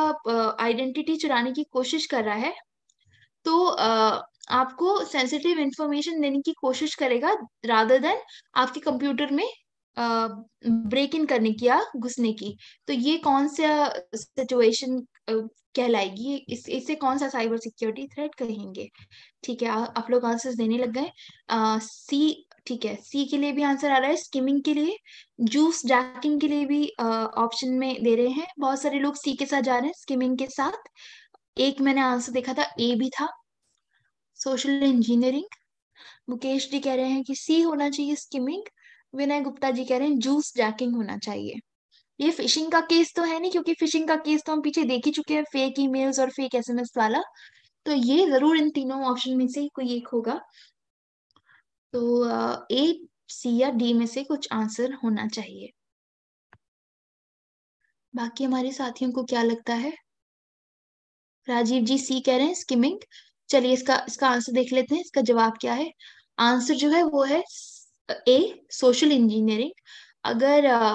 ऐसा आप देख रहे हैं एक साइबर सिक्योरिटी थ्रेट है तो इस सिचुएशन में इसे सोशल इंजीनियरिंग कहा जाएगा ठीक है तो करेक्ट uh, आंसर है ए सोशल इंजीनियरिंग चलिए let's move on to the next question choose the correct option for UPI digital payment system limit आपको बताना है इन चारों में से सही जो है स्टेटमेंट वो कौन कौन से हैं फर्स्ट जो है वो है rupees five thousand per transaction limit for new UPI users second कह रहा है rupees five thousand per day transaction limit for users who change their device और सिम कार्ड और mobile number one lakh per transaction and per day transaction limit for transaction type VPA या Q R scan U Q R scan under P to P और fourth कह रहा है rupees five thousand for transaction type collect request इसमें से आपको बताना है कि क्या करेक्ट uh, स्टेटमेंट्स हैं यूपीआई डिजिटल पेमेंट लिमिट के बारे में तो uh, जवाब दे रहे हैं ठीक है सर मैंने देख लिया आपका जवाब uh, ठीक है राजीव जी भी ये कह रहे हैं उनके साथ में uh, मुकेश परिहार जी भी ये कह रहे हैं राहुल शुक्ला जी कह रहे हैं सी होना चाहिए मोहिनी जी कह रही है ए ठीक है केहर सिंह जी कह रहे हैं डी होना चाहिए only one two three are correct बाकी फोर्थ कह रहे हैं रॉन्ग है मोहिनी जी कह रही है one two are correct three and four जो है वो इनकरेक्ट स्टेटमेंट्स है ओके okay, बाकी लोग भी ए कह रहे थे वन और टू आर करेक्ट थ्री और फोर जो है वो इनकरेक्ट स्टेटमेंट है विनय गुप्ता जी कह रहे हैं one two and three are correct Jagat Bandhu ji कह रहे हैं वन और एंड टू आर करेक्ट चलिए हम देख लेते हैं इसका जवाब क्या होना चाहिए इसका जवाब जो है वो है D one two and three तीनों स्टेटमेंट करेक्ट है फोर्थ फोर्थ जो है वो रॉन्ग है तो यहाँ पर first second third are the correct statements UPI digital payment system ji idea ice cream दिख नहीं रही पूरी स्क्रीन दिख रही है स्क्रीन नहीं दिख रही है आपको सर बाकी लोगों को दिख रही है क्या मेरे को क्या देख रहे देख रहे मैम सर देख रहे ओके सर आप हो सकता है दोबारा से लॉग इन करके देखिए मतलब दोबारा से लीव करके आके देखिए इन हो सकता है आपको विजिबल हो जाए चलिए चलिए नेक्स्ट जी जी जी thank you next next question की तरफ बढ़ते हैं As a security measure, presence of registered mobile number in device is mandatory to use the Cent mobile app कह रहे हैं एक सिक्योरिटी मेजर के हिसाब से आ, एक मोबाइल सिम कार्ड होना चाहिए अगर आपको Cent mobile Cent mobile app इस्तेमाल करनी है on changing the device fresh registration is required to use mobile banking mobile banking facility will be discontinued in old device this added feature is called ये जो feature की बात कर रहे हैं मोबाइल फैसिलिटी पुराने मोबाइल में जो है वो डिसकंटिन्यू हो जाएगी बंद हो जाएगी तो इस फीचर को क्या कहते हैं सुची जी कह रही है सी अनुराग जी भी सी कह रहे हैं पांडुरंगा जी भी सी कह रहे हैं सिम बाइंडिंग इस फीचर को कहते हैं सिम बाइंडिंग सी uh, के साथ जा रहे हैं अभी तक शशि जी भी कह रही है कि सी है ये फीचर जो है सेंट मोबाइल ऐप का जो एडेड फीचर है वो है सिम बाइंडिंग ठीक है uh, सभी लोग सी के साथ जा रहे हैं सुजीत जी मुकेश जी आप सभी लोग भी सी ऑप्शन के साथ जा रहे हैं चलिए तो फिर देरी किस बात की जब सभी सी के साथ जा रहे हैं सी तो को ताला लगा के देख लेते हैं C is the correct answer SIM binding is the correct answer तो आपने सभी से सभी ने सही जवाब दिया है ये फीचर को कहेंगे जो एडेड फीचर है इसे कहेंगे सिम बाइंडिंग चलिए नेक्स्ट है without adding beneficiary fund by N F T and I M P S quick pay per transaction and per day limit in Cent mobile is Cent mobile में बात करें अगर beneficiary नहीं add किया गया है और आपको फंड ट्रांसफर करना है नेफ्ट e से या एमपीएस से तो per transaction quick pay per transaction और पर डे लिमिट क्या है आपके सामने है ऑप्शंस आपको फटाफट बताना है कौन सा जो है सही जवाब है राजीव जी कह रहे हैं B two thousand per transaction rupees और rupees twenty thousand per day transaction की लिमिट है मुकेश जी कह रहे हैं C ten thousand per transaction और twenty five thousand per day ठीक है कैर सिंह जी भी बी कह रहे हैं राजीव जी भी बी कह रहे हैं ठीक है अभी तक हमारे पास मोस्टली लोग कह रहे हैं कि बी होना चाहिए सही जवाब अगर आपको बिना बेनिफिशरी के आईएमपीएस और ये एनईएफटी uh, ट्रांजेक्शन करना है तो ये लिमिट होनी चाहिए शशि जी कह रही है C ten thousand per transaction और twenty five thousand per day ठीक है तो uh, चलिए इसका जवाब देख लेते हैं इसका जो आंसर है वो है बी जैसे मोस्टली लोगों ने कहा twenty five thousand per transaction की लिमिट है और ट्वेंटी थाउजेंड पर डे की लिमिट है अगर आप बिना बेनिफिशियरी को ऐड किए फंड ट्रांसफर करना चाह रहे हैं एनईएफटी e या एमपीएस से तो सेंट मोबाइल में चलिए नेक्स्ट uh, क्वेश्चन बढ़ते हैं नेक्स्ट क्वेश्चन है debit card services available under Cent mobile are given below आपको बताना है इन चारों में से कौन सी जो सर्विस uh, है वो करेक्ट है करेक्ट ऑप्शन कौन सा है फर्स्ट तो है apply for credit card B है डेबिट कार्ड कंट्रोल सी है ग्रीन पिन जनरेशन फोर्थ है apply for debit card and fifth है डेबिट कार्ड हॉटलिस्ट प्लीज अपना जो माइक uh, है वो म्यूट कर लीजिए बैकग्राउंड नॉइसेज आ रहे हैं आपके थ्रू तो थैंक यू सो मच अपने माइक्स जो है वो म्यूट करके रखिए मोहिनी जी कह रही है ऑल आर करेक्ट तो चारों ऑप्शन है uh, पांचों ऑप्शन है वो पांचों करेक्ट है Cent mobile debit card services के रिगार्डिंग मुकेश जी कह रहे हैं ए विनय गुप्ता जी कह रहे हैं सी होना चाहिए only one two three are correct four and five जो है उनके हिसाब से सही नहीं है अजीत ठाकुर सुजीत ठाकुर जी कह रहे हैं A A all are correct Kehar Singh ji भी ए कह रहे हैं रोशन कुमार जी कह रहे हैं सी फोर और फाइव को बोल रहे हैं कि करेक्ट नहीं है only one two three are correct Panduranga ji except one all other option are correct कह रहे हैं कि वन के अलावा सारे जो ऑप्शन है वो करेक्ट है चलिए ठीक है राकेश जी भी ए के साथ जा रहे हैं कि ऑल आर करेक्ट चलिए देख लेते हैं इस सिचुएशन में जो है सही जवाब क्या है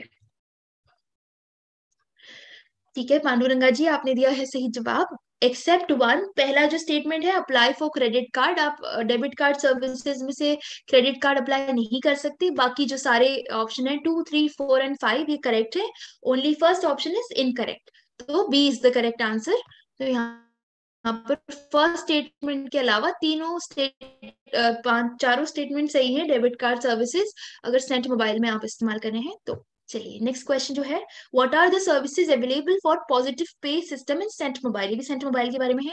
पॉजिटिव पे सिस्टम में क्या क्या सर्विसेज अवेलेबल रहती हैं cheque entry PPS inquiry both are correct या ओनली ए इज करेक्ट दो ऑप्शन दिए हैं आपको बताना है ये दोनों सही है या सिर्फ ए सही है अनुराग जी ने दे दिया है आंसर कह रहे हैं बोथ आर करेक्ट आपको चेक एंट्री और पीपीएस इंक्वायरी दोनों ही मिल जाएंगे ठीक है प्रसन्नता जी भी यही कह रहे हैं पानुरंगा जी भी यही कह रहे हैं भूपेंद्र जी भी सी कह रहे हैं राहुल जी भी कह रहे हैं कि बोथ आर करेक्ट दोनों जो है ए और बी जो है वो करेक्ट है दोनों ही आपको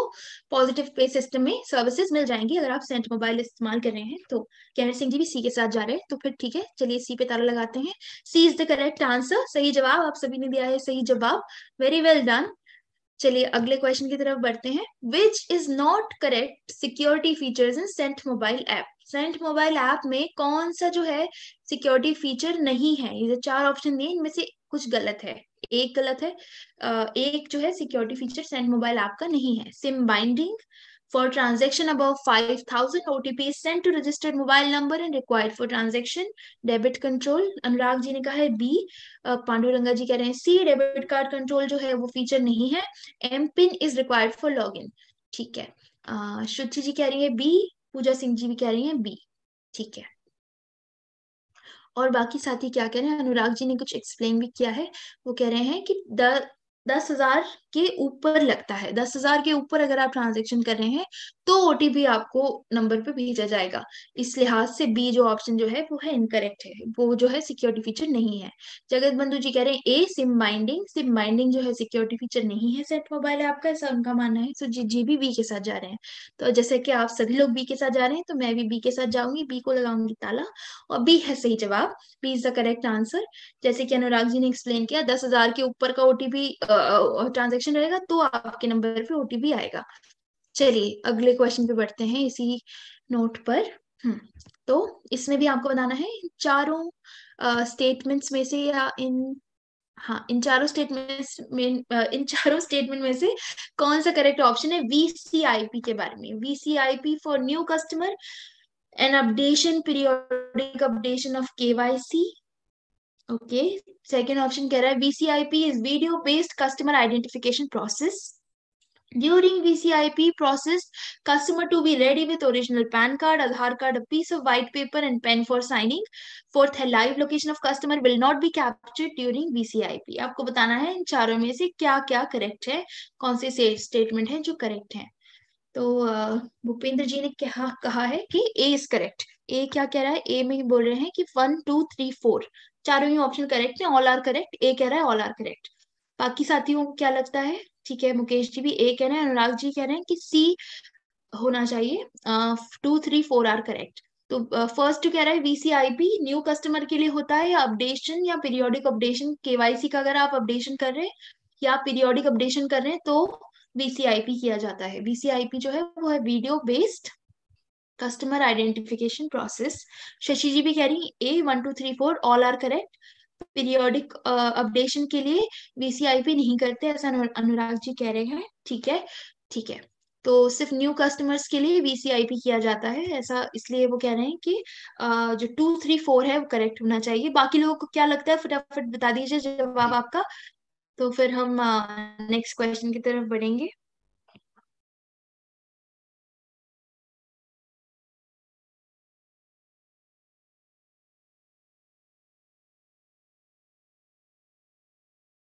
चलिए देख लेते हैं अब हमारा जो जवाब क्या है आंसर जो है वो है वन टू थ्री यहाँ पर कह रहे हैं कि वन टू थ्री जो है वो करेक्ट है और फोर्थ uh, जो ऑप्शन है वो रॉन्ग है ऐसा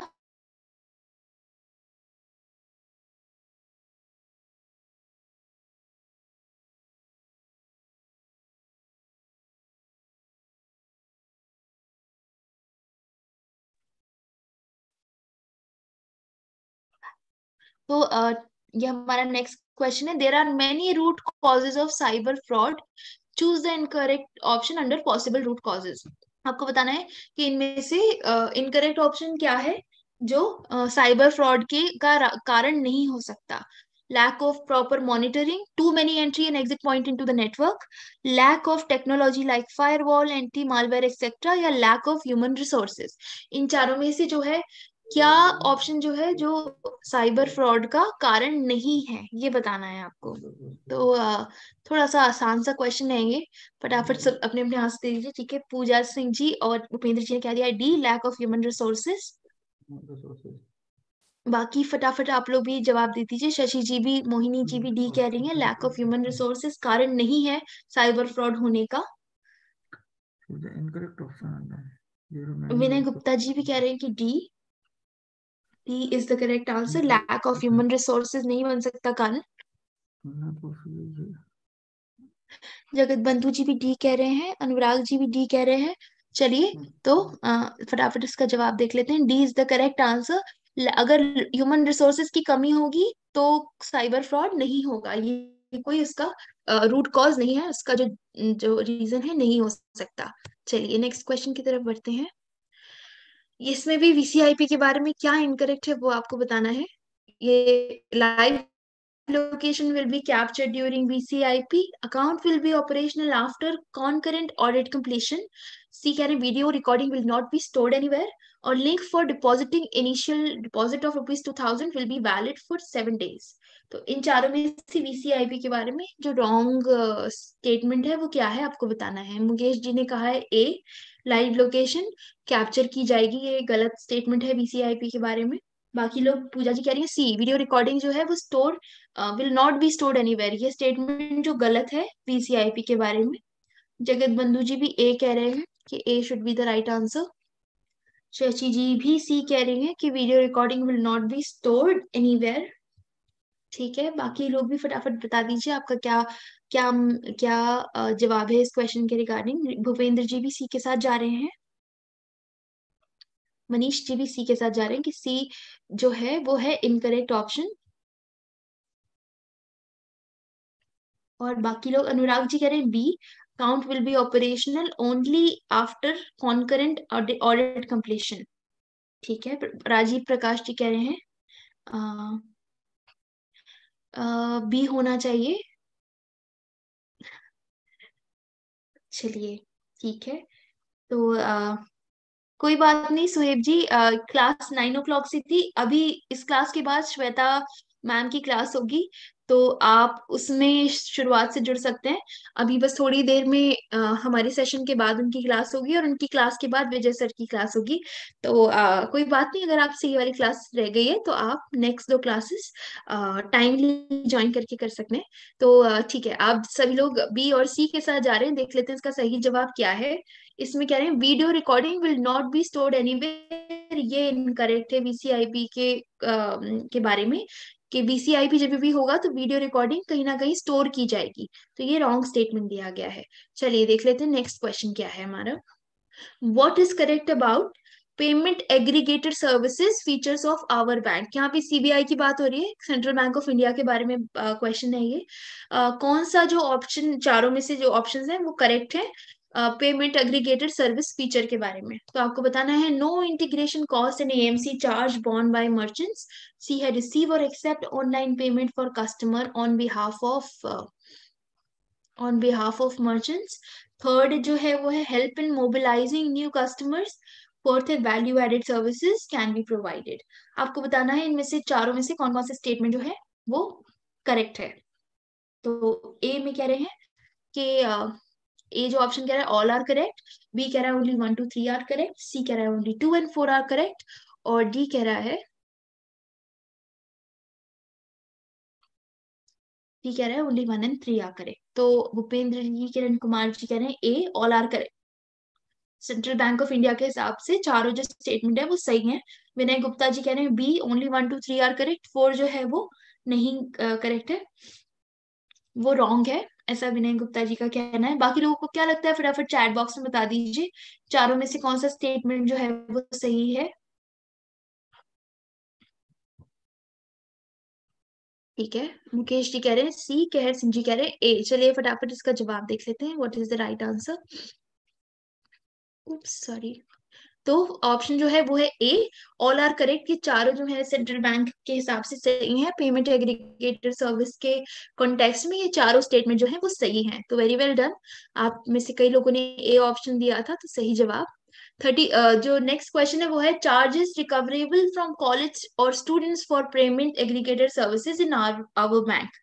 ये uh, ये भी सेंट्रल बैंक ऑफ इंडिया के बारे में है आपको बताना है इन चारों स्टेटमेंट में से इनकरेक्ट क्या है जो चार्जेस पेमेंट uh, uh, जो चार्जेस हम कॉलेज uh, स्टूडेंट से लेते हैं पेमेंट एग्रीगेटर सर्विसेज के लिए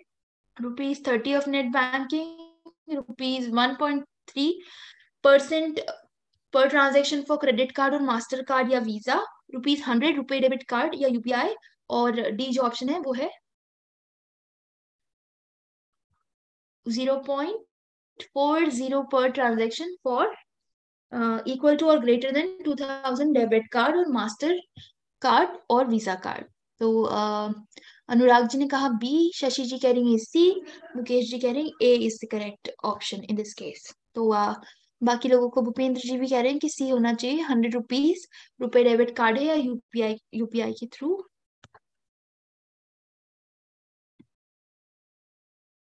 ठीक है काफी मिक्स आंसर्स हैं ए भी ऑप्शन आया है बी भी आया है और सी भी आया है इसका जवाब देख लेते हैं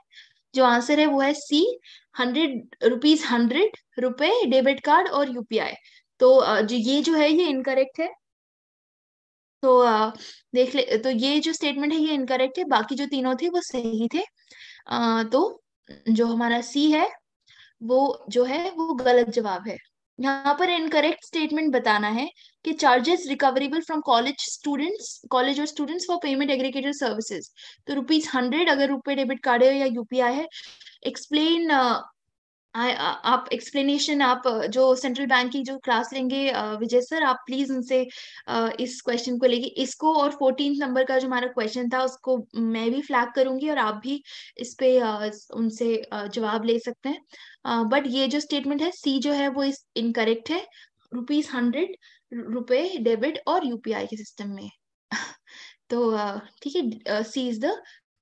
right answer चलिए चलिए fund transfer to accounts of others intra and inter bank including through IMPS choose the incorrect option यहाँ पर भी इनकरेक्ट ऑप्शन बताना है कि इन चारों में से गलत क्या है सही नहीं गलत fund transfer to account of others intra या inter bank including through IMPS के रिलेशन में चारों में से क्या स्टेटमेंट जो है वो है गलत रुपीज फोर ट्रिपल नाइन अगर आप कर रहे हैं तो आपको ओटीपी जरूरत नहीं पड़ेगी फाइव थाउजेंड एंड अबव करेंगे तो ओटीपी चाहिए सी कह रहा है five thousand per transaction and rupees one lakh per day या D five lakh per transaction and ten lakh rupees per day transaction तो सिद्धार्थ जी कह रहे हैं डी अनुराग जी भी कह रहे हैं डी डी इनकरेक्ट ऑप्शन है राजीव गिदवानी जी कह रहे हैं कि सी विनय जी कह रहे हैं डी बहुत सारे मतलब मोस्टली लोग डी के साथ जा रहे हैं भूपेंद्र जी भी डी कह रहे हैं कि डी जो है वो इनकरेक्ट स्टेटमेंट है गीतेश जी भी कह रहे हैं कि डी जो है वो इनकरेक्ट स्टेटमेंट है प्रदीप चौधरी जी भी कह रहे हैं कि डी गलत जवाब है चलिए इसका जवाब देख लेते हैं आंसर क्या है ओ oh, आंसर जो है सी सी जो है वो बोल रहे हैं कि C is the incorrect incorrect option इस केस में फंड ट्रांसफर अगर कर रहे हैं किसी और के अकाउंट में इंट्रा या inter bank including through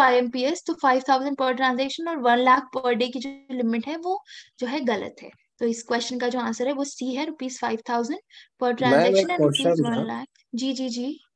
मैं ये कह रहा था आज ही इंटरनेट बैंकिंग खोलते पर, हमारा जो इंडिविजुअल खाता बैंक का सीडी अकाउंट उसमें मैं नेट बैंकिंग आज पासवर्ड जनरेट किया आईएमपीएस कर रहा था तो उसमें लिखा हुआ आ रहा था कि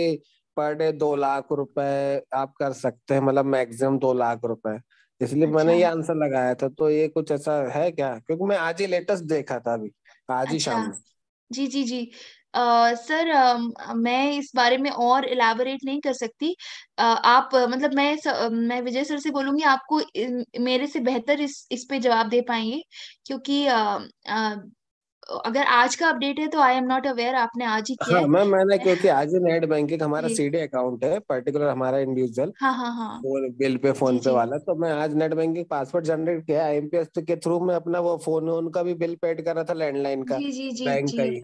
तो मैं जो वहाँ लिखा आया था एम पी एस में क्विक पे में कि इतना इतना ये है करके हाँ हो सकता है कुछ चेंजेस हुए हो सर मैं आपको उस पर जरूर एक्सप्लेनेशन ठीक मैं मैं सर से अभी नेक्स्ट क्लास हाँ, में सर से पूछता हूँ जी जी जरूर थैंक यू सो मच चलिए नेक्स्ट क्वेश्चन की तरफ बढ़ते हैं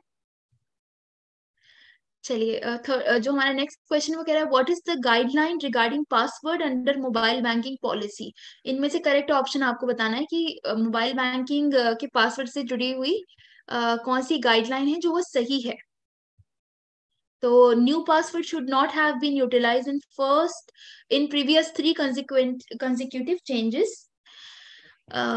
password validity is validity is 180 days. The transaction password length should be minimum eight and all are correct. ठीक है सभी लोग कह रहे हैं सुहेब जी कह रहे हैं बी बाकी सभी लोग डी के साथ जा रहे हैं ऑल आर करेक्ट कि चारों स्टेटमेंट आप कह रहे हैं करेक्ट है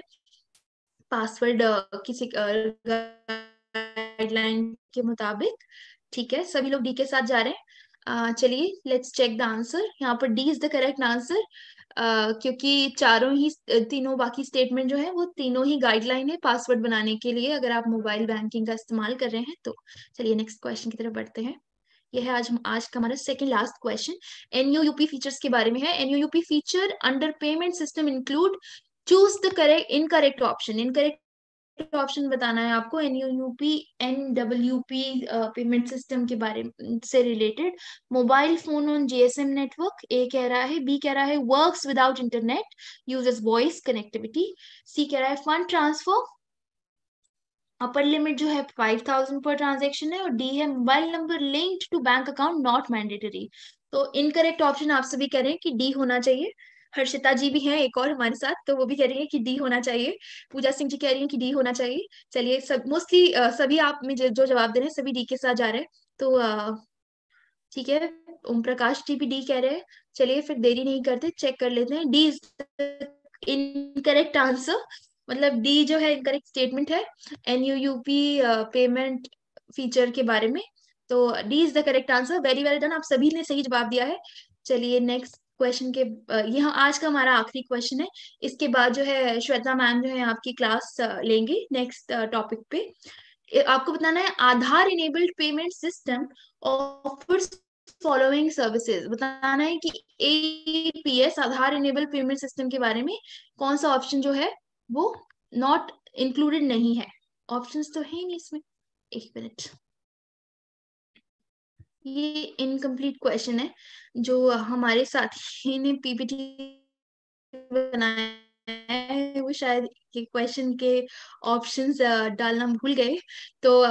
चलिए तो ये हमारा लास्ट क्वेश्चन जो था वो यही था आज के आज थोड़ा सा टेक्निकली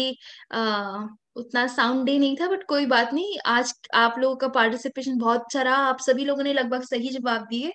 तो आज इसी नोट पे हम जो क्लास है उसको इस नोट पे खत्म करते हैं आज का जो कोट है जीवन में कभी भी सही समय नहीं आता जब आप शुरुआत कर देते हैं तो वो सही हो जाता है सही समय हो जाता है तो आप सभी ने तैयारी कर दी इतनी जोरदार जोरदार शानदार आप तैयारी कर रहे हैं तो जरूर आप लोगों को एग्जाम में सफलता मिलेगी और जरूर